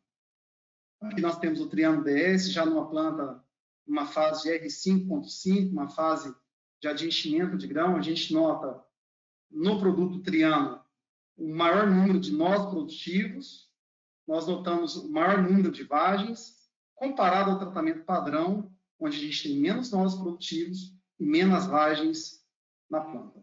E, por fim, o que a gente quer no final, o trabalho com Cooper, Cheio com Triano DS, o maior número de vagens de 4 grãos, maior número de vagens de 3 grãos, de 2 grãos comparado também ao tratamento padrão do agricultor. Aqui nós podemos ver uma evolução dos agricultores. Então, o Triano DS foi lançado em 2019. Nós fomos a primeira empresa do Brasil a colocar esse produto no nosso tratamento de semente industrial. Tivemos uma grande felicidade, onde a gente teve 20 novos agricultores que aderiram a essa tecnologia. Em 2020, nós já estamos com 77 agricultores já aderidos a essa tecnologia, com pedidos fechados, com a sua reserva do triano reservada junto à sua semente. Em 2021, a gente tem uma expectativa de chegar a 116 agricultores, em 2022, a 173 agricultores, já aderindo à nova tecnologia. Falando rapidamente da evolução em hectares, então em 2019 a gente teve 5.500 hectares tratados aqui na região de Minas Gerais. Esse ano a gente vai para o Goiás também com essa tecnologia. Então, 2020 a gente deve atingir próximo de 15 mil hectares tratados com o Triângulo DS. 2021 a gente deve chegar a 22 mil hectares tratados com o Triângulo DS. E 2000 22 com 33 mil hectares tratados com triângulo DS. Isso é uma projeção bastante conservadora, mas eu acredito que o número ele pode ser maior que isso, em função dos excelentes resultados que o triângulo tem trago para a gente no campo. Por fim, eu quero trazer para vocês, rapidamente, um case de sucesso. Nós tivemos aí o produtor Ken Shimada, um agricultor de altíssima tecnologia, que planta no município de Indianópolis. Indianópolis está sediado aqui no Triângulo Mineiro, em Minas Gerais. Ele tem uma área de 620 hectares. Espero, né, se ele estiver nos ouvindo aí, parabéns pelo resultado, quem de estimada. Ele, no ano passado, ele teve uma produtividade de 70 sacos por hectare. E esse ano, utilizando o triângulo em 100% da área dele, ele teve 73 sacas por hectare já, já colhidos, e nós acreditamos que esse resultado é em função da tecnologia do Triângulo DS, porque na área a gente tinha um levantamento técnico feito pelo nosso consultor Rodolfo, engenheiro agrônomo de Uberlândia, onde nós tivemos lá presença, principalmente, do nematóide é, da raça Pratilencos, que é uma raça bastante agressiva. E nós tivemos outros nematóides também identificados naquela região. E tudo isso é, nos levou a fazer a opção pelo Triano DS, e trazendo aí excelentes resultados de produtividade, algo que a gente acredita que a gente pode levar para outros agricultores através dessa tecnologia de tratamento de semente industrial, utilizando o Triano DS. Por fim, como eu disse no começo da nossa apresentação, é, às vezes é, a gente precisa tomar decisões difíceis, como vocês viram. Isso me fez lembrar é, de uma história verídica que aconteceu nos Estados Unidos. Essa é uma sequoia, uma, uma árvore que pode chegar a 400 anos. É uma, uma planta bastante comum no estado da, da, nos Estados Unidos, uma região bastante comum no Colorado. E essa sequoia ela pode chegar a 100 metros de altura. E os, os botânicos fizeram um grande estudo, porque eles começaram a ver algumas sequoias depois de 400 anos com raios, com tempestades, com avalanches, não colocaria ela achando. E começou a entender por que, que algumas árvores vinham sendo derrubadas. E eles descobriram qual, qual era a razão. Ataque de um inseto muito pequeno né, cupins. Então, cupins derrubavam essas árvores de 200, 200 ou 400 anos de idade, 100 metros de altura. Isso me leva a fazer uma comparação que, que a gente acabou de falar sobre nematóides e doenças de solo, que são organismos que não são vistos a olho nu, como a André acabou de falar, e que às vezes o agricultor não dá aquela importância merecida, não dá aquela importância que, que, que merece a essas pragas de solo e essas doenças. Isso pode trazer é, prejuízos, pode trazer situações desastrosas ao agricultor. E o que, que a gente é, deixa com isso? É uma excelente notícia. A Copert, através de tecnologia, trouxe um produto que é o Triângulo DS, um produto revolucionário, um produto aplicada à agricultura moderna, que pode fazer com que a gente consiga criar um solo saudável, proporcionar um solo altas produtividades, e isso pode proporcionar você, agricultor, a trazer o seu legado, a deixar o seu legado na agricultura, trazendo rentabilidade a você e um solo por muitos anos saudável, né? É isso que eu deixo para vocês e Agradeço a participação de todos. Estou aqui aberto a perguntas que virão. Né? Muito, meu muito obrigado. Obrigada, Fabiano. Quanta coisa boa também. Gente, olha, uma palestra que complementa a outra, tá muito bacana. E Fabiana, inclusive, já temos aqui produtores de vários outros estados perguntando quando você tem pretensão de expandir para o Brasil inteiro, viu? inclusive, os produtores do Mato Grosso estão em peso aqui me perguntando isso. Quando é que você vai para lá? Bom, mas vamos lá, daqui a pouquinho então eu contigo. Um abraço especial do Neto Biel para você, Fabiano. Muito e muito bacana. Acho que você fez aí um overview fantástico do mercado de tratamento de sementes, incluindo a questão das práticas da safra 2020.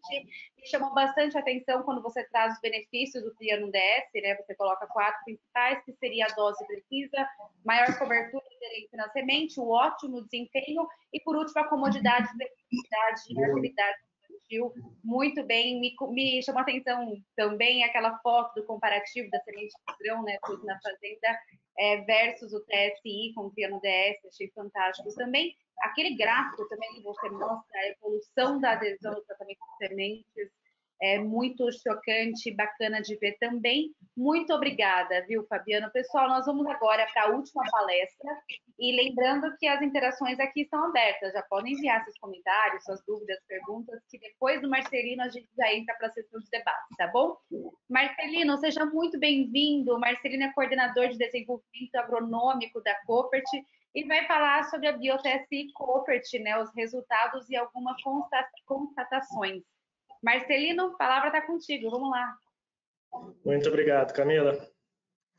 Bom, pessoal, primeiramente, boa noite. Né? Fica um pouco difícil falar depois aí de, dessas ilustres palestras, né? Então, todos representaram muito bem, falaram muito bem.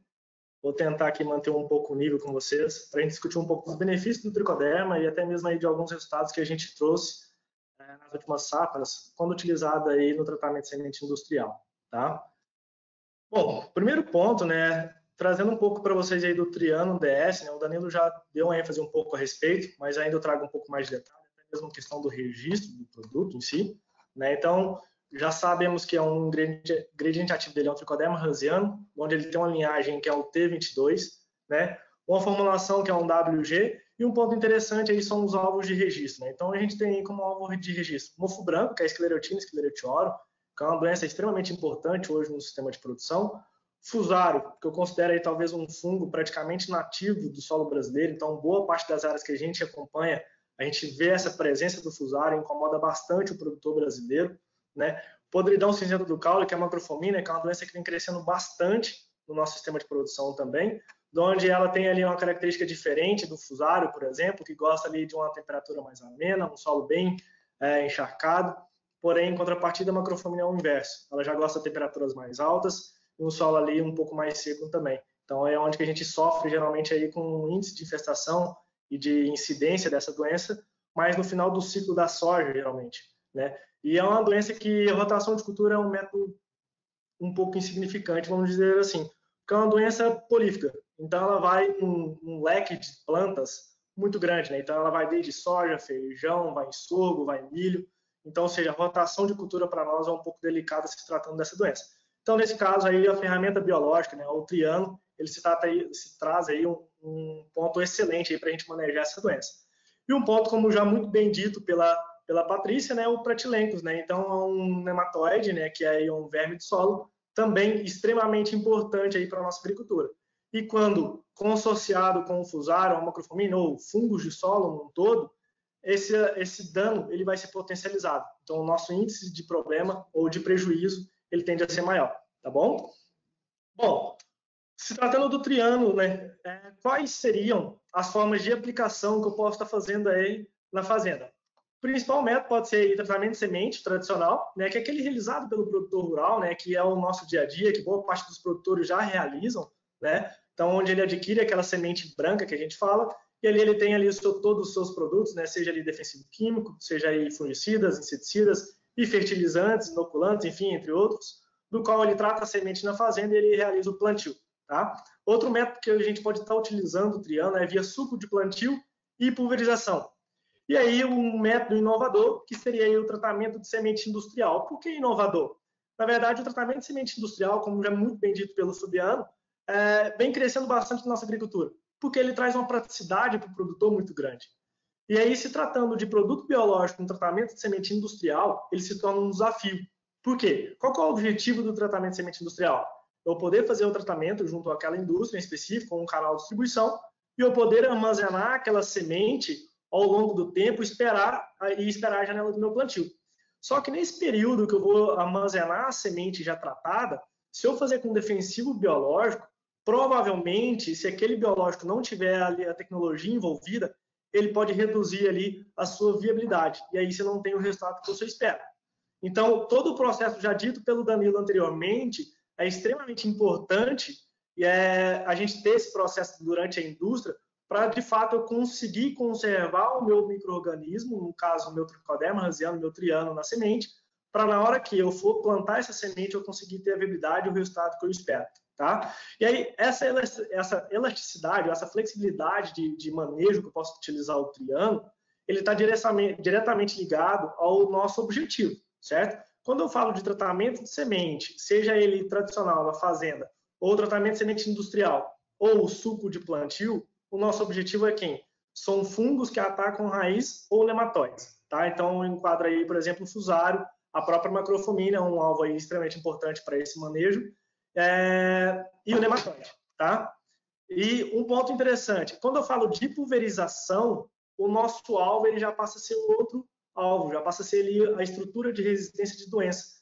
Isso aí eu destaco para quem? Para a esclerotina e a própria macrofomina também possui um microescleróide, que é uma estrutura de resistência que fica no solo durante anos. Então, essa pulverização é para inviabilizar essa estrutura. Mas a gente vai entrar em mais detalhes à frente, tá bom? Bom, e aí um ponto interessante, né? O triano em si, quando a gente pode fazer esse tratamento de semente industrial, ele permite é, com que eu armazene essa semente durante 60 dias. Esse é um ponto extremamente interessante. Já como muito bem dito pelo Fabiano nos benefícios do tratamento de semente industrial, isso vai me trazer uma flexibilidade durante o meu manejo. Então, já sabemos que a janela de plantio do produtor rural é muito curta, certo? Então, ele tem que otimizar o máximo de tempo e dedicar muito tempo para ele fazer o melhor plantio possível, porque, vamos falar assim, o segredo da cultura está no plantio. Então, se ele já começa o plantio já no período errado, de uma forma errônea, então automaticamente a produtividade dele já não vai ser a que ele, que ele almeja, que ele espera. Então, nesse sentido, se a gente puder fazer um tratamento de semente industrial com um triângulo e eu puder armazenar nessa semente, então automaticamente não há necessidade dele fazer um retratamento na semente lá na fazenda. Então, aquele tempo que ele dedica para tratar a semente na fazenda, ele está dedicado e exclusivo para o seu plantio. Então, esse é um benefício que o tratamento de semente industrial vai trazer para ele no dia a dia. E aí, nesses casos, por exemplo, então, a gente se tratando de triano, a gente fala que é o primeiro fungo, né, produto à base de fungo, que pode ser utilizado via tratamento de semente industrial. E esse é um desafio grande manter. Por quê? Porque é um microorganismo. Então, a partir do momento que eu coloco o meu microorganismo numa estrutura, eu não tenho as condições necessárias para ele estabelecer, automaticamente ele pode perder viabilidade. E quais são essas condições? Temperatura, umidade e a própria comida também, né? Que ele precisa de uma fonte de alimento para ele se manter estável. Então, esse detalhe, junto com as tecnologias também envolvidas no tratamento de semente industrial, o exemplo dos polímeros, eles são tecnologias, são combinações de tecnologias que permitem exatamente que eu possa ficar aí esses 60 dias com a semente tratada com um triano, que é um tricoderma ranziano, certo? Bom, eu trago uma dinâmica aqui para vocês, para vocês entenderem um pouco mais, até para complementar um pouco do que o próprio Fernando e a Patrícia já comentaram com vocês, um pouco da dinâmica do nosso solo, né? Porque quando a gente fala de solo, o Fernando fala isso com mais propriedade ainda, obviamente, do que eu, é, é um ponto interessante porque está embaixo da botina, né? Então, poucas pessoas, na verdade, elas sabem o que acontece ali embaixo. E aí, hoje, a nossa preocupação hoje, quando a gente fala de solo, até então, era somente fertilidade. Porém, para a gente, de fato, ter um benefício daquela fertilidade, eu tenho que entender que esse solo é extremamente ativo. Eu tenho um bioma extremamente vivo aqui embaixo e eu preciso preservar ele. Só que esse bioma, na verdade, eu tenho ali vários organismos que são maléficos, né? Seria ali alguns patógenos do solo. Eu tenho também micro-organismos benéficos. Só que de acordo aí com a nossa cultura brasileira, né, onde a gente vem fazendo ali uma rotação, nem digo uma rotação, né, uma monocultura, né, onde a gente vem falando ali de soja, trigo ou aveia, que seja, e o milho, um feijão ou algodão, ou seja, eu não tenho rotações suficientes para me manter essa população do meu solo ali o mais benéfica possível, o que, que aconteceu? Veio selecionando ali boa parte dos micro-organismos que se tornaram e se estabelecendo no meu solo, vem causando doença no meu ambiente. Isso aí é onde a gente vem causando e potencializando ainda mais nossos problemas. Vou trazer alguns exemplos para alguns exemplos para vocês. Até então, alguns anos atrás, a gente falava de fusário. Fusário e risoptônia eram os nossos principais problemas. Nos últimos anos, a gente fala de macrofomina, falamos de fitófora, de pítio, então, ou seja, são doenças que elas já tinham sim no nosso sistema raiz, porém com a intensidade muito menor. E aí, de acordo com o nosso manejo que a gente veio adotando, veio trazendo condições para esses patógenos se estabelecerem.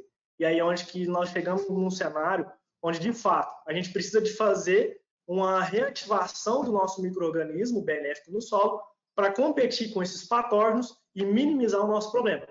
Então, o triano, que é o tricoderma rasiano, ele é uma ferramenta para esse sistema, para esse manejo. Qual que é o objetivo dele? É criar como se fosse uma película em torno dessa raiz, de forma com que ele vai fazer uma blindagem, vai limitar e competir nesse ambiente solo junto com esse patógeno. E isso vai limitar e vai minimizar a taxa de infecção dessa raiz para os nossos patógenos, seja ele de fungos de solo, no caso do triano, ele traz um benefício para nós também de nematóide. Então, é um produto em si que tem uma elasticidade de, de, vamos falar assim, de modo de ação muito importante para nós, porque ele consegue ter uma dupla ação tanto em fungos patógenos, quanto também em nematóides patógenos de solo, tá? Aqui eu vou trazer um vídeo ilustrando um pouco como que acontece essa competição na nossa raiz. Então, esse vídeo aqui ele foi feito em placa de pedra, mas é mais para vocês entenderem né, e ilustrar um pouco na cabeça de vocês como que funciona essa competição e, de fato, esse modo de ação do tricoderma em cima de um fusário, por exemplo. Eu não vou falar de nematóide, porque a Patrícia já falou muito bem disso para nós já hoje, né? Então eu trouxe aqui um pouco exatamente do fusário para vocês saberem como que seria esse complemento em cima desses dois alvos. Então, se tratando aí, o Fernando ele comentou um pouco na, na apresentação dele um pouco dos mecanismos de defesa do tricoderma. Então, aqui eu destaco eles para vocês. Primeiro ponto, competição. Essa competição por espaço alimenta, a gente pode ver que ele cresce muito mais rápido. Antagonismo, né, que é a liberação de antibióticos e também metabólicos, onde ele cessa e diminui o crescimento do patógeno. E um ponto interessante que é o parasitismo, que aí é um, seria o quê? A alimentação do tricoderma do próprio patógeno. Ele usa o próprio patógeno como uma fonte nutricional para ele mesmo. Pode observar que esse parasitismo acontece, que eu consigo ver o crescimento do tricoderma em cima do fusário. De novo, que é uma doença hoje extremamente importante para o nosso sistema de produção e que eu devo sim ter um olho clínico e um, um olho mais especial para essa doença, que ela pode tirar uma produtividade muito alta para nós, tá bom? Bom, e aí aqui eu só trouxe para ilustrar para vocês também um pouco a respeito. Quando a gente fala aí de pulverização do triano, qual seria o nosso alvo específico? Então, um mofo branco, especificamente dizendo, talvez seja uma doença mais conhecida por vocês, ele desenvolve uma estrutura de resistência que a gente chama de escleródio, e essa estrutura de resistência ela fica no nosso solo durante anos. Ela pode ficar ali 10, 15 anos, alguns relatos. E isso aí é uma doença que ela fica no solo, veio as condições ideais, que seria ali temperatura, umidade e hospedeiro, essa doença ela gera uma estrutura chamada potéssio, né, que é um dos mecanismos ali de, de iniciação dessa doença, e aí ele pode infeccionar uma planta é, e tirar a produtividade nossa, certo? E aí o nosso objetivo com o triano, quando a gente pulveriza ele no nosso solo, é exatamente inviabilizar essa estrutura. E o ponto interessante, a natureza é tão sábia que ela desenvolveu uma estrutura que ela, de fato, ela consegue ficar no solo durante anos e sofrer qualquer tipo de intempéries. E um desses intempéries é exatamente a radiação, por exemplo, ou até mesmo um defensivo químico. Então, ou seja, o manejo para me manejar ou reduzir esse escleróide, essa estrutura de resistência, esse nódulo, é usar a própria natureza, que é o triano, que é um fungo de solo, para inviabilizar essa estrutura. E aí eu trago um outro exemplo aqui, que é a macrofamina, que é uma doença relativamente nova, vamos falar assim, ou seja, que tem manifestado aí recentemente, talvez nos últimos quatro ou cinco anos, tá? E ela possui estrutura semelhante à esclerotina, porém a gente chama de microescleróide.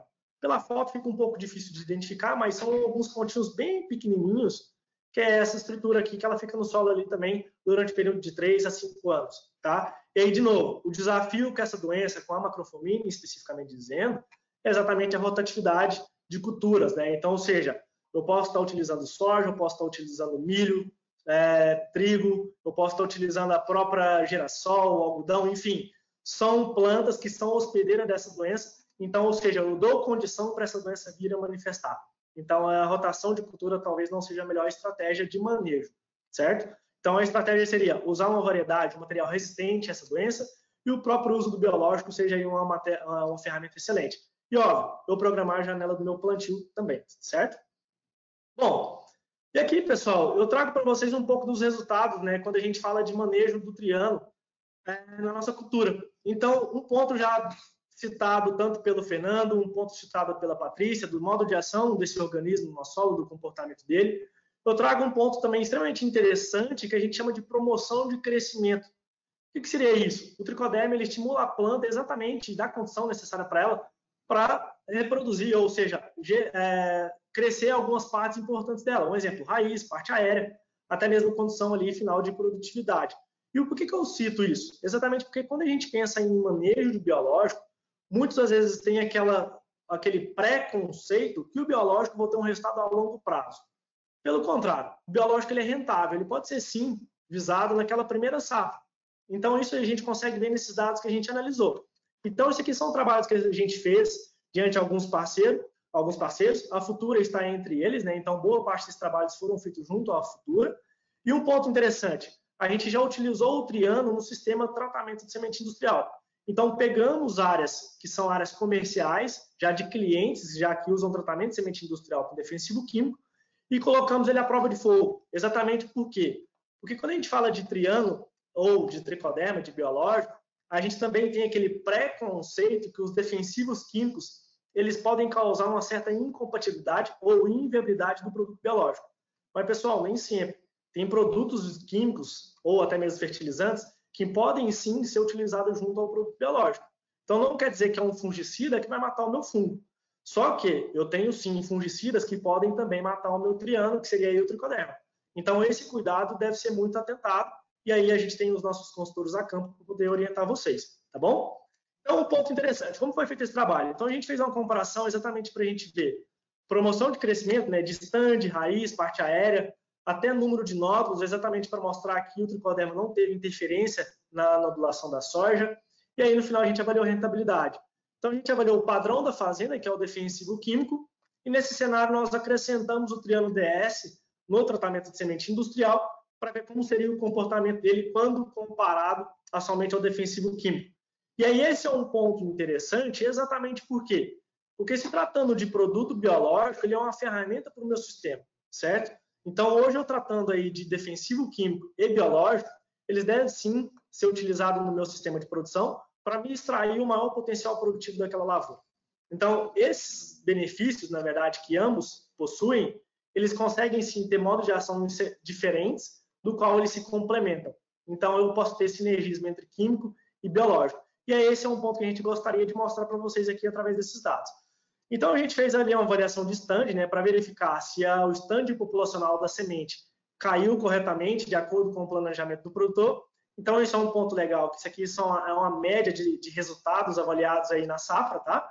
Então, a gente pode observar que a, o stand em si, ele bateu exatamente o que o produtor planejava, então, tanto o padrão da fazenda quanto a nossa área teve a mesma população de planta, mas é um ponto de destaque para vocês. A gente já sabe que o benefício do tricodermil, do triano, por exemplo, é exatamente o quê? Contra patógenos de solo. Seja ele ali para manejo de fungos, seja ele para manejo de nematóide, para manejo de resistência da planta, que é o que a Patrícia também já comentou. Então, a gente vê um ponto exatamente importante. A gente avaliou o stand novamente com 45 dias após o plantio. Exatamente para quê? Qual o objetivo? Nesse período, a planta está passando ali por um, um, processo muito crítico pelo patógeno, onde acontece boa parte do processo de dumping off, ou seja, a planta ela morre pelo patógeno. Então, a gente pode observar que 45 dias após, eu tive, aqui a gente estava, vamos falar assim, deixei de perder, vamos falar assim, eu saí de 14,1 plantas, fui para 14,8 plantas. Relativamente parece pouco, porque se eu falar em 14,1 versus 14,8 plantas por metro, só que na hora que a gente vê em porcentagem, eu tenho ali uma porcentagem interessante de 5%, tá aqui até como um incremento, mas eu falaria que é, deixei de perder 5% daquelas plantas, certo? E esse ponto foi interessante, ele foi bem pontual, exatamente por quê? Porque essas plantas em si, elas vingaram exatamente por quê? Porque eu não tive aquele dano daqueles patógenos que nos causam dumping off, ou seja, que não causou mortalidade da planta. E há outros pontos interessantes que a gente analisa, né? volume de raiz e parte aérea. Então, eu pude observar aqui, eu tive um incremento nesse ponto pela raiz, onde eu cresci ali em torno de 17%, e parte aérea eu também incrementei em torno de 16%. Então, ou seja, se eu tenho ali um maior volume de raiz, acaba espelhando um pouco em parte aérea. E automaticamente, se eu tenho maior parte aérea, então acaba que eu tenho maior entrenó, enfim, então eu posso ter ali um efeito interessante no final do, do meu cultivo. E aí um ponto interessante que eu trago para vocês que aí às vezes muita gente é questionado no campo se o biológico, vamos falar o tricoderma, por exemplo, ele pode competir com um bradyrhizoma, por exemplo. Ah, acontece isso, Marcelino? Eu falo para vocês que não. Depois até o próprio Fernando Andreotti ele pode falar um pouco mais de clareza para vocês. E por que, que eu digo que não? Eu digo até que é o contrário, na verdade. Se eu tenho um maior volume de raiz, exatamente causado pelo próprio tricoderma, automaticamente eu tenho uma maior superfície de contato dessa raiz no meu solo, com isso facilita a contaminação ou infecção pelo bradyrhizoma. Então, automaticamente, os nossos ensaios, nossos campos, eu tive um incremento de nódulo de 19%. Isso não quer dizer que o tricoderma ele cria, ele desenvolve um nódulo na planta, tá bom? É somente uma consequência do meu maior volume de raiz e aí onde eu tenho maior contato daquela raiz com, no meu solo, então isso facilita a infecção por bradyrhizoma. Se tratando de número de vagens, não tive interferência na média, acabou trazendo um empate né, entre a média dos ensaios. Peso de mil grão, tivemos um incremento aí de, 12, de 2%. E no final, eu tive um incremento de produtividade de 5%, que acarretou em média de 3 pontos sacos por hectare. Ou seja, se tratando aí de custo-benefício, né, ou seja, retorno sobre o investimento que o produtor fez utilizando o Triano DS e incluindo ele no seu tratamento de semente industrial, então a gente pode observar que ele literalmente ele pode ser sim pago pelo próprio manejo e até mesmo no primeiro ano. E aí um dado que eu trago para vocês também que é muito interessante e ele nos traz uma zona de conforto como Copert de segurança. Por quê? A gente chama de frequência de resposta. O que seria isso? Eu, diante de todos os nossos campos demonstrativos, eu gostaria de saber quantos campos ou qual a porcentagem daqueles campos eu de fato eu tive um incremento ou tive uma resposta positiva. Isso aí é onde nos traz segurança, de fato, para colocar um produto em campo de acordo com aquele manejo que é o tratamento de semente industrial, certo? Quando a gente analisou o stand com 45 dias após a semeadura, eu tive ali em 100% dos campos demonstrativos, eu não perdi em stand, ou seja, eu ganhei da testemunha, que seria ali somente o defensivo químico. Então, eu posso ver que o Triano ele trouxe um benefício, de fato, em todos os campos relacionados a stand. Por mais que, voltando aqui um pouquinho só para reforçar, a gente fala em 5%, seja ali por metro linear, mas na hora que a gente extrapola essa população de 5% por hectare, em soja seria aí, vamos supor, vamos chutar aí 300 mil plantas por hectare, esse 5% ele sai um número muito representativo. É o que justifica essa alta produtividade depois no final, tá? Tem um ponto interessante. Volume de raiz, em 67% dos casos, tivemos um incremento dessas raízes, onde não teve um incremento, teve um empate, vamos falar assim, ou seja, nenhum dos campos ali sobressaiu. Parte aérea teve um incremento de 83%, e aí a parte da, do padrão da fazenda 17%. Número de novos, de novo, sob consequência do meu maior volume de, volume de raiz e dando mais condição para esse brad risóbio, acabou que 100% dos nossos casos eu tive ali maior número de novos. Então, de novo, eu mostro para vocês e comprovo que o tricoderma não vai competir ali com o brad risóbio no solo. Cada um tem seu ambiente, cada um tem seu espaço, eles podem ali trabalhar no, no seu sistema e fazer sua função, tá? E aí, se tratando de número de vagem, por mais que a gente teve um empate na média, mas na hora que avaliamos o número de campos, 67% dos campos houve um incremento de número de vagem e 33% teve ali um incremento de número de vagem no padrão da fazenda. E aí um ponto de segurança para nós seria o peso de mil grãos, onde teve 100%, e a produtividade final, ou seja, o incremento, que é o de fato, que traz uma rentabilidade ao produtor hoje, que é onde ele 83% dos nossos casos tivemos um incremento de produtividade. E somente em 17, somente o defensivo químico, vamos falar assim, sem o incremento do triângulo, teve esse incremento. Então, isso é o que nos traz ali como um ponto de segurança em função dessa frequência de resposta, em função de todos esses fatores, né? Então, avaliando o próprio stand, eu comprovo que o triângulo no tratamento de semente industrial, ele pode sim, ele tem sim os seus benefícios, de acordo ali que eu posso armazenar a semente, seja ele para manter ali a minha população de planta, e seja ele também para trazer as minhas rentabilidades, né, que é o de fato que vai trazer um benefício para o produtor rural. Porque a partir do momento que o produtor rural investe, a gente tem que trazer aquele retorno para ele também, seja ali financeiro e também, obviamente, em nível de redução daquele patógeno no solo, certo?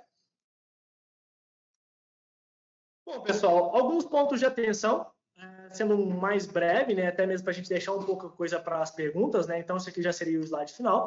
Então, o um ponto de atenção que a gente deve se tratar exatamente como o triano. De novo, o triano é um biofungicida e bionematicida, só que ele é à base de fungo, ou seja, é um organismo vivo que, se eu colocar ele em condições de estresse, ele pode sim inviabilizar. E aí, no final, a gente não tem o resultado que a gente espera, certo? Então, eu devo sim estar muito alinhado e saber de fato a compatibilidade entre esses químicos que eu vou estar utilizando também no meu tratamento de semente industrial e também dos fertilizantes. Então, esse relacionamento que a gente tem com o nosso canal de distribuição hoje, por exemplo, é muito importante porque a gente consegue ter de fato um certo controle do que ele já está utilizando. Então, a gente, anteriormente ao manejo que ele já vai fazendo, ou anteriormente ao tratamento de semente industrial, a gente já consegue ter a resposta se aquele defensivo químico ou fertilizante ou aquele produto adotado ali no sistema dele de manejo é compatível com um triano ou não. E quando eu falo de compatibilidade, pessoal, não é uma compatibilidade física ou química, tá? É uma compatibilidade biológica. É exatamente se esses, essas ferramentas, né, o químico ou fertilizante, não vai causar uma interferência na viabilidade do produto biológico. Outro ponto, quando a gente trata de tratamento de semente industrial, eu falo que talvez ali o coringa do tratamento de semente industrial são quem? São os polímeros. E aquele polímero em si, ele é um fator extremamente importante, até mesmo para manter a condução da viabilidade do fungo na semente. Só que, alguns cenários, eu tenho alguns polímeros que são sintéticos, esses polímeros sintéticos, eles podem também causar uma inviabilidade desse fungo. Então, de fato, a gente precisa também ter um conhecimento desses polímeros. Então, esse teste de compatibilidade que a gente faz junto ao nosso P&D Coopert hoje, nos traz uma segurança muito grande, de fato, para a gente posicionar isso ao nosso cliente, ao nosso parceiro, e trazer, de fato, ali uma efetividade ao produtor rural. E aí, um ponto interessante, armazenar a semente em local fresco e arejado. Então, esse detalhe já é um critério que a gente já deve adotar para a própria semente a semente também ela precisa ser armazenada ali em local fresco e arejado para a gente manter o vigor e a viabilidade dela, certo? Em alguns cenários, boa parte das sementeiras, ela ainda refrigera essa semente. Isso aí traz um benefício para a própria semente. E, pessoal, esses benefícios que trazem para a semente de acordo com o armazenamento, já automaticamente já traz um benefício também para o próprio triângulo. Então, são condições que também são ideais para manter a longevidade do triângulo da semente e automaticamente a sua viabilidade tá? E um ponto interessante, por último, né, e não tão importante, não menos importante, é respeitar o período limite de armazenamento. Então, lembre-se no início que eu falei que o período de armazenamento daquela semente, quando tratado com o triângulo DS, é o limite de 60 dias. Ah, Marcelino, mas tem cenários que eu teria ali que o produtor armazena 80 dias.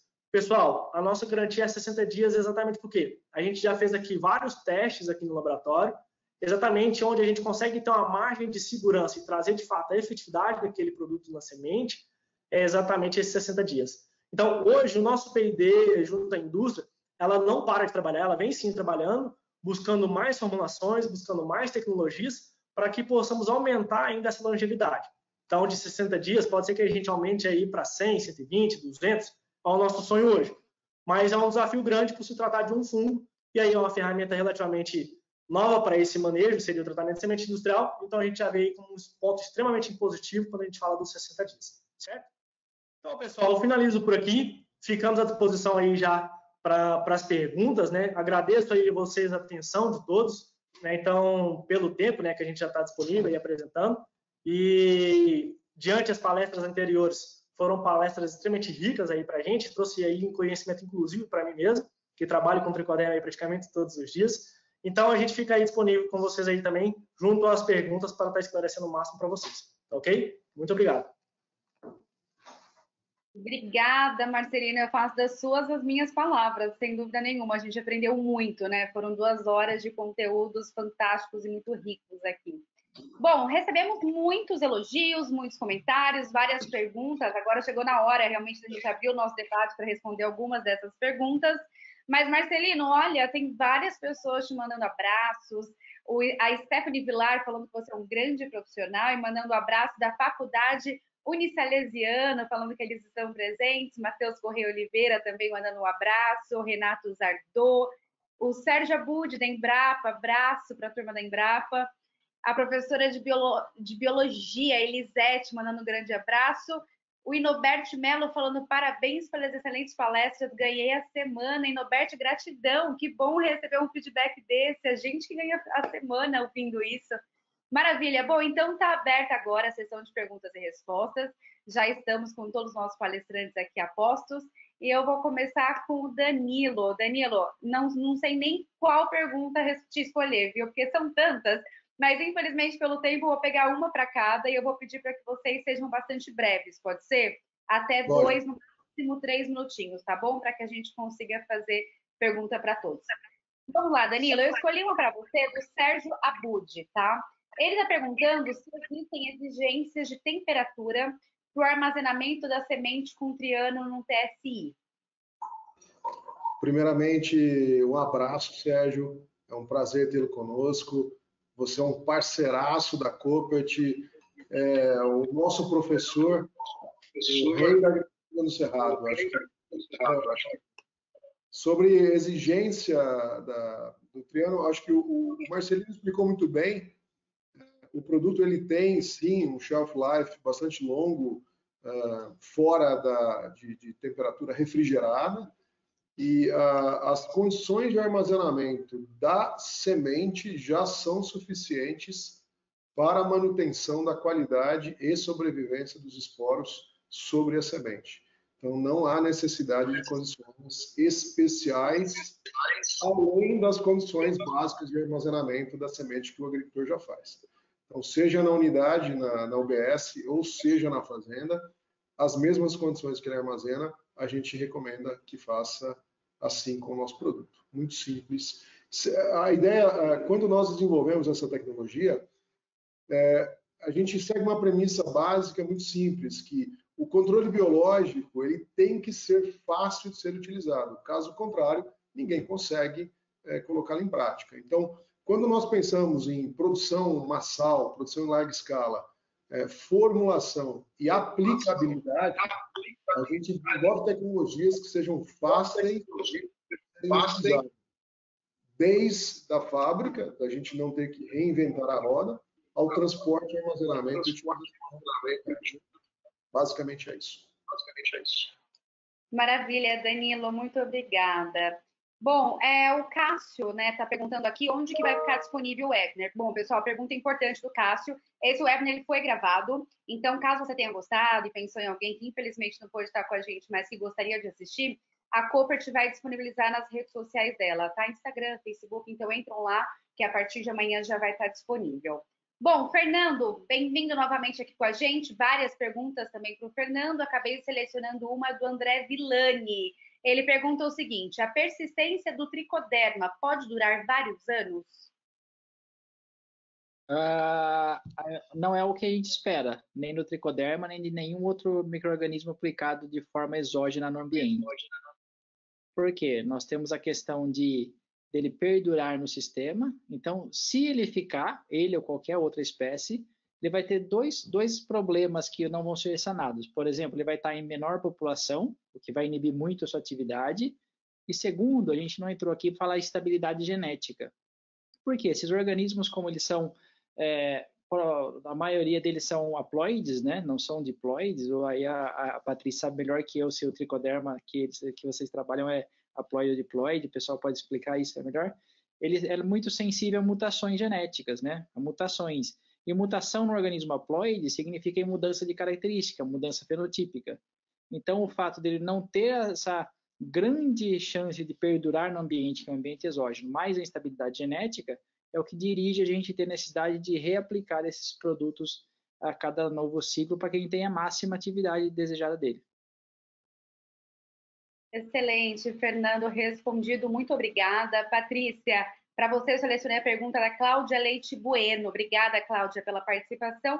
E ela pergunta o seguinte: o Trianon tem ação nematicida direta ou indireta? Pergunta difícil, porque eu ainda não conheço diretamente o produto da Cooper.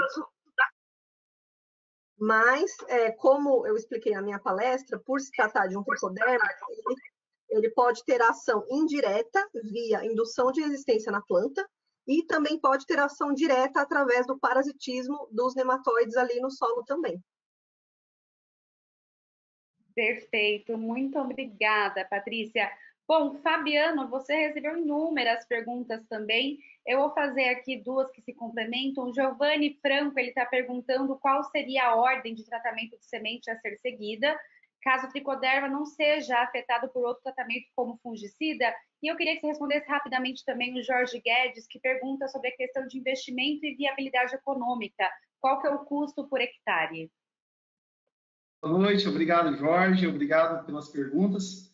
É, respondendo à primeira pergunta, a, a composição do, do Triano DS ela já é preparada e já é testada previamente com os inseticidas e os fungicidas para que a gente entenda a compatibilidade, se existe essa compatibilidade, como o Marcelino disse, é, já é feito os testes previamente. Então, no tratamento de semente industrial, a gente tem uma, uma pré-receita e eu, nessa pré-receita a gente já determina se há ou não compatibilidade. Então, os produtos que nós usamos são produtos é, da BASF ou da Corteva, junto com o Triângulo DS, com total compatibilidade, eles são é, adicionados simultaneamente. Então, na aplicação, eles entram juntos, porque a máquina de tratamento industrial faz com que o produto ele chegue ao mesmo tempo no tanque de tratamento. Então, isso, isso não tem uma ordem é, a ser seguida. O produto chega junto na semente, e oferece total é, compatibilidade sem risco nenhum de perca do fungo. Respondendo né, a segunda pergunta, que é a questão de viabilidade, o, Triano DS é totalmente viável, é uma inovação tecnológica, parabéns aí a Cooper, trouxe um produto com custo-benefício muito adequado. Hoje nós temos, então, como eu falei na, na minha apresentação, uma dose de uma grama e meia a duas gramas por semente. Então, se você é, pensar nessa variação, pode variar aí na casa em torno de R$ reais o hectare a R$ reais o hectare. O que vai depender dessa uma grama e meia por quilo de semente, duas gramas, é o nível nós temos é, de infestação ou de nematóides ou de fungos de solo, que previamente vai ser analisado pelo consultor que estiver dando assistência para vocês, que estiver acompanhando essas lavouras. É por isso que o custo pode ficar entre 35 e 45 reais e vai depender também da se é uma condição comercial mais a curto prazo ou se é uma um uma, um investimento lá na, na safra, né, em, em abril de 2021 mas é, economicamente, se a gente fizer uma conversão, 18 quilos de soja hoje, ou 20 quilos de soja por hectare, totalmente viável, custo-benefício muito bom. Obrigado aí por, por né, pela pergunta, excelente pergunta. Legal, obrigada, Fabiana. A gente que agradece. Marcelino, contigo agora também inúmeras perguntas aqui direcionadas a você. Selecionei uma do Pedro Faria Júnior. Pedro, obrigada pela interação. E ele pergunta, Marcelino, o uso Trianum no suco ou TS elimina a necessidade de pulverização do tricoderma na pré-florada para controle do mofo branco? Bom, é, a estratégia de manejo com o triano é exatamente relacionado ao é, alvo que a gente está propondo a controlar ou manejar. Então, se tratando de tratamento de semente industrial, ele não substitui a aplicação na pré-florada para mofo branco. Exatamente o porquê. Porque o nosso escleróide, a estrutura de resistência, ela, como ela fica superficial ao nosso solo, e quando eu trato a semente com, com um triano, ele tende a descer acompanhando essa raiz. Então, automaticamente, aquele escleróide que está superficial na raiz, ele não vai ter tanto contato com o tricoderma. O que, que pode acontecer médio e longo prazo? aquele tricoderma que de fato ele colonizou a raiz e acompanhou é, aquela raiz, ele pode inviabilizar aqueles escleróides que estão mais é, profundos no solo. Porém, esses escleróides eles não vai te causar um dano econômico naquela safra, a não ser que você faz um manejo no seu solo que você traga ele para cima novamente. Então, essa, o tratamento de semente industrial não substitui a pulverização quando se trata para manejo de mofo branco. Tá? Perfeito. Oi, Marcelino, você encerrou? Oi? Se eu não me engano, tinha uma segunda pergunta. Eu acho que... Não, estou enganado.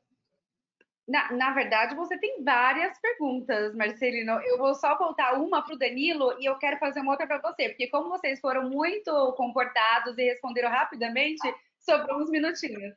Danilo, eu quero te fazer uma, na verdade, porque eu acabei juntando várias pessoas perguntarem em relação a regulamentação, tá? Então, vou pegar uma delas para representar essas pessoas que tiveram essas dúvidas, que é a Luciana Oliveira. E ela fala que ela é pesquisadora do Instituto Agronômico de Pernambuco e ela quer saber do doutor Danilo como está a questão da regulamentação dos produtos à base de tricoderma junto ao MAPA. Ah, legal, ótima pergunta. O, uh, os tricodermas com ação de fungicida eles têm a regulamentação é, sob o decreto 4074 do MAPA, que é o mesmo decreto que regulamenta é, produtos para proteção de cultivos, os agrotóxicos.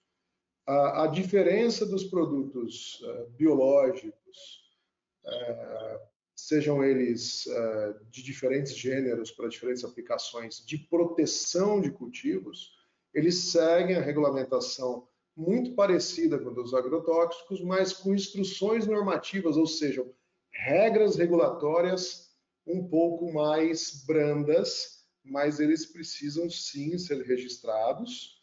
E o registro é muito amplo, então a unidade de produção, a empresa, ela tem que ter o seu registro nos órgãos competentes, municipais, estaduais e federais, atendendo regras específicas de vigilância sanitária, IBAMA, CETESB, no caso de São Paulo, ou as agências ambientais dos estados, e o produto tem que ser registrado, é, tem que ter o seu registro federal e depois o seu cadastro nos estados onde vai ser comercializado.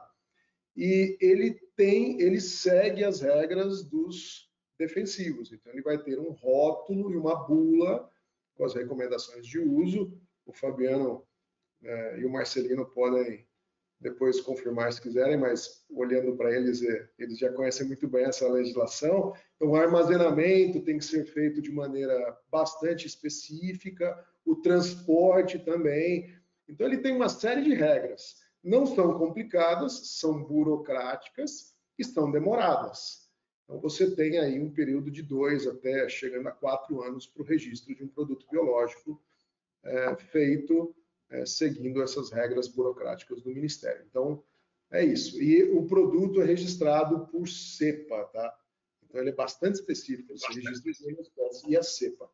Então, você tem hoje no, no, no Brasil, é, desculpa me alongar, mas é, dois registros. É, você tem um registro de produtos que a gente pode considerar como se fossem as patentes dos, dos químicos, e você tem genéricos. Então, você tem patentes, que são produtos é, inéditos ou exclusivos. No nosso caso, a gente só trabalha com essa modalidade, com desculpas específicas e que só pertencem à COPA, a gente tem um uso exclusivo no Brasil. É, e você tem os genéricos, que as empresas fazem registro seguindo uma legislação é, paralela, também obedecendo de agrotóxicos, mas simplificado, porque segue uma, é, uma regulamentação da agricultura orgânica, chamada COAGRI. É, são cepas disponibilizadas é, publicamente, onde as empresas registram e ofertam. Então, para te dar uma ideia, é um produto à base de bovéria, que é um bioinseticida. Nós são 28 produtos, se não me engano, em torno de 30 produtos registrados no Brasil. É, duas empresas apenas têm é, é, patentes ou produtos exclusivos e os outros 26 no mercado são exatamente a mesma cepa, o mesmo produto. É, e a gente enquadra isso mais ou menos fazendo um paralelo ao, ao mundo dos defensivos como os clones ou genéricos, né? produtos genéricos no mercado. Então, não sei se eu respondi a pergunta dela ou fui além, mas sim, existe regulamentação. Legal, não, acho que foi uma boa forma, até nesse encerramento, que eu acho que fechou bem tudo que a gente falou hoje. Pessoal, a gente tem que acabar em 10 minutinhos, mas, Marcelino, eu quero fazer mais uma pergunta para você, mas eu preciso que seja bastante breve, porque é uma pergunta que eu acho que, assim como que o Danilo falou agora, vai fechar bem aqui o nosso encontro. O Marco Antônio Senju, acho que é assim que fala o sobrenome, pergunta: Marcelino, por que, que você acha que ainda os produtores não adotaram 100% o tratamento industrial? Afinal, ele agiliza o plantio e melhora a produtividade.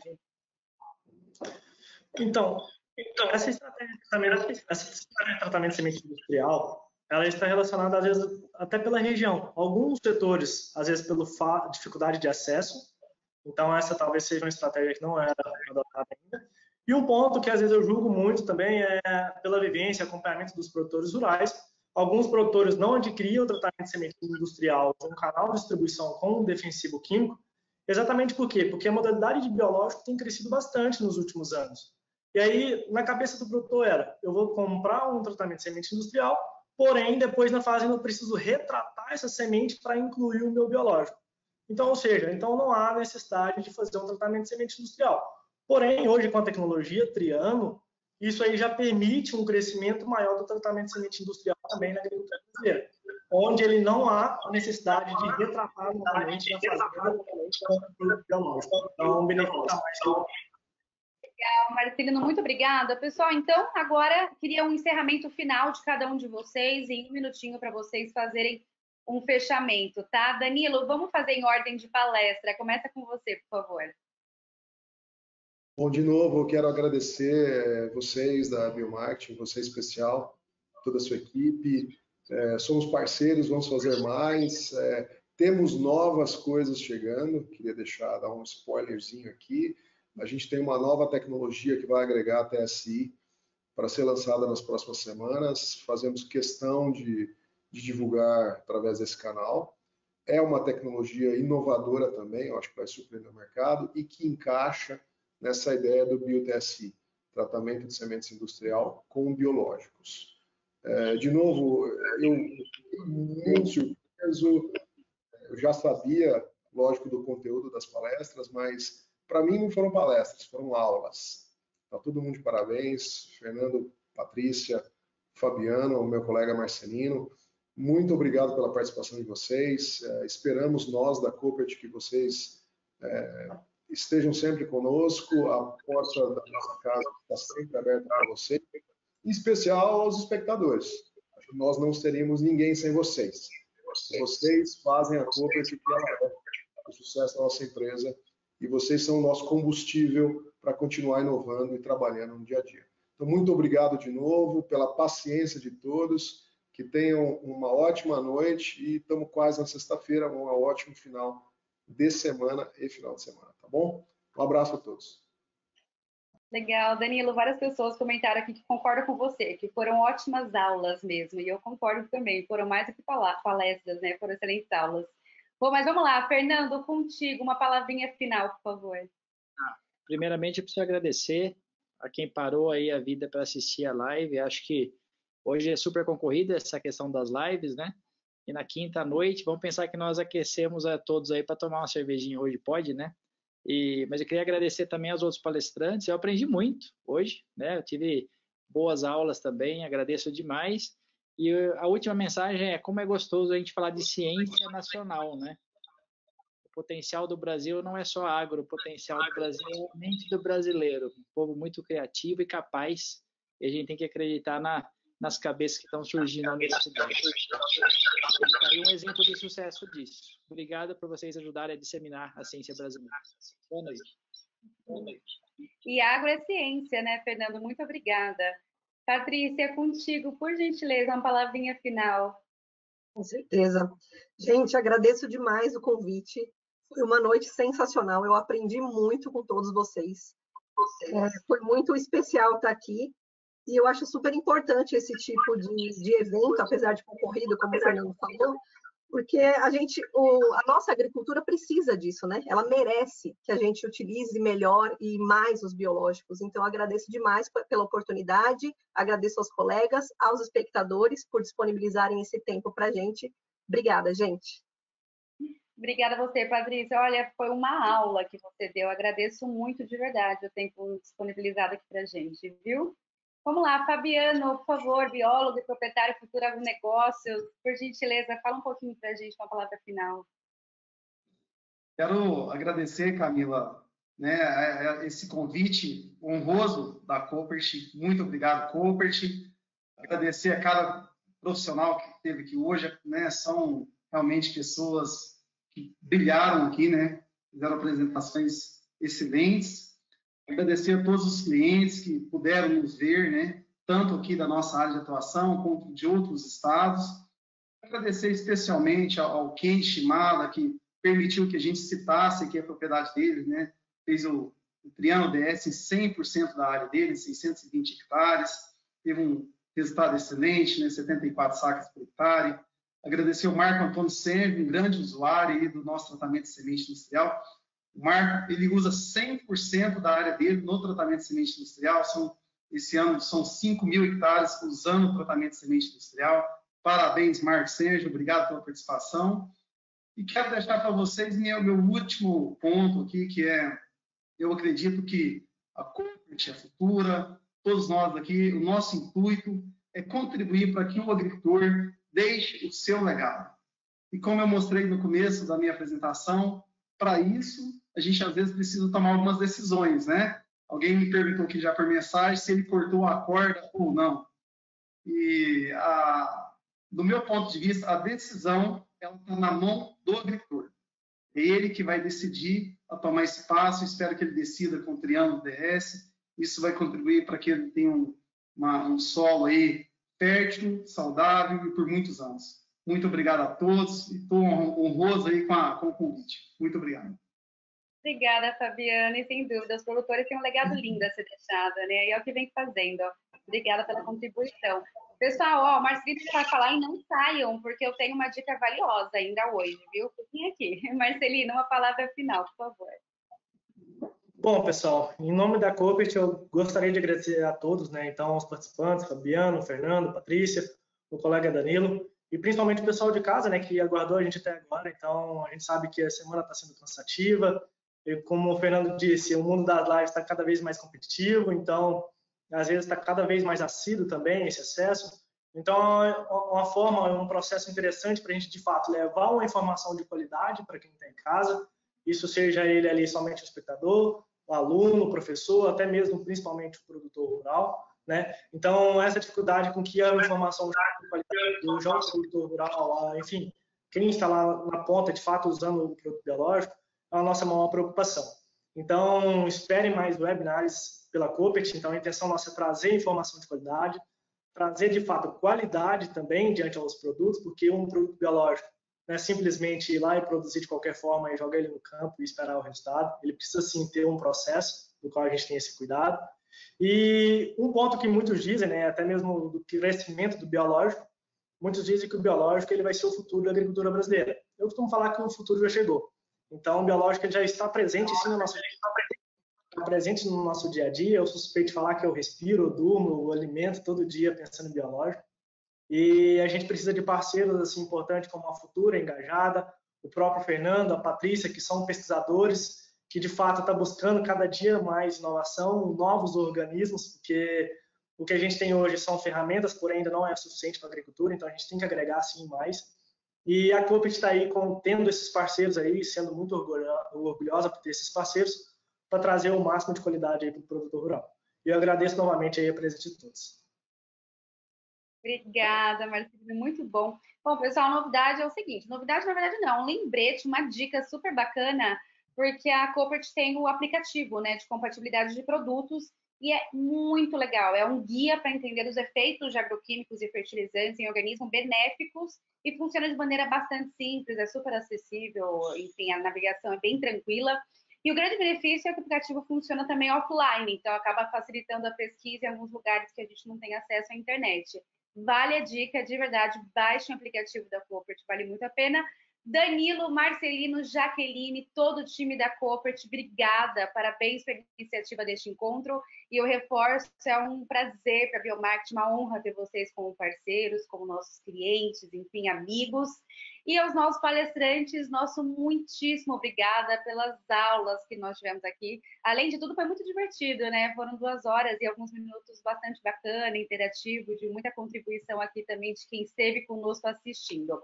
Lembrando, o encontro ele foi gravado, vai ser disponibilizado nas redes sociais da Copert. Novamente, não deixem de baixar o aplicativo, vale bastante a pena. Copert, parabéns pela iniciativa, palestrantes, muito obrigada e a todos que nos assistiram. Até mais. Obrigada.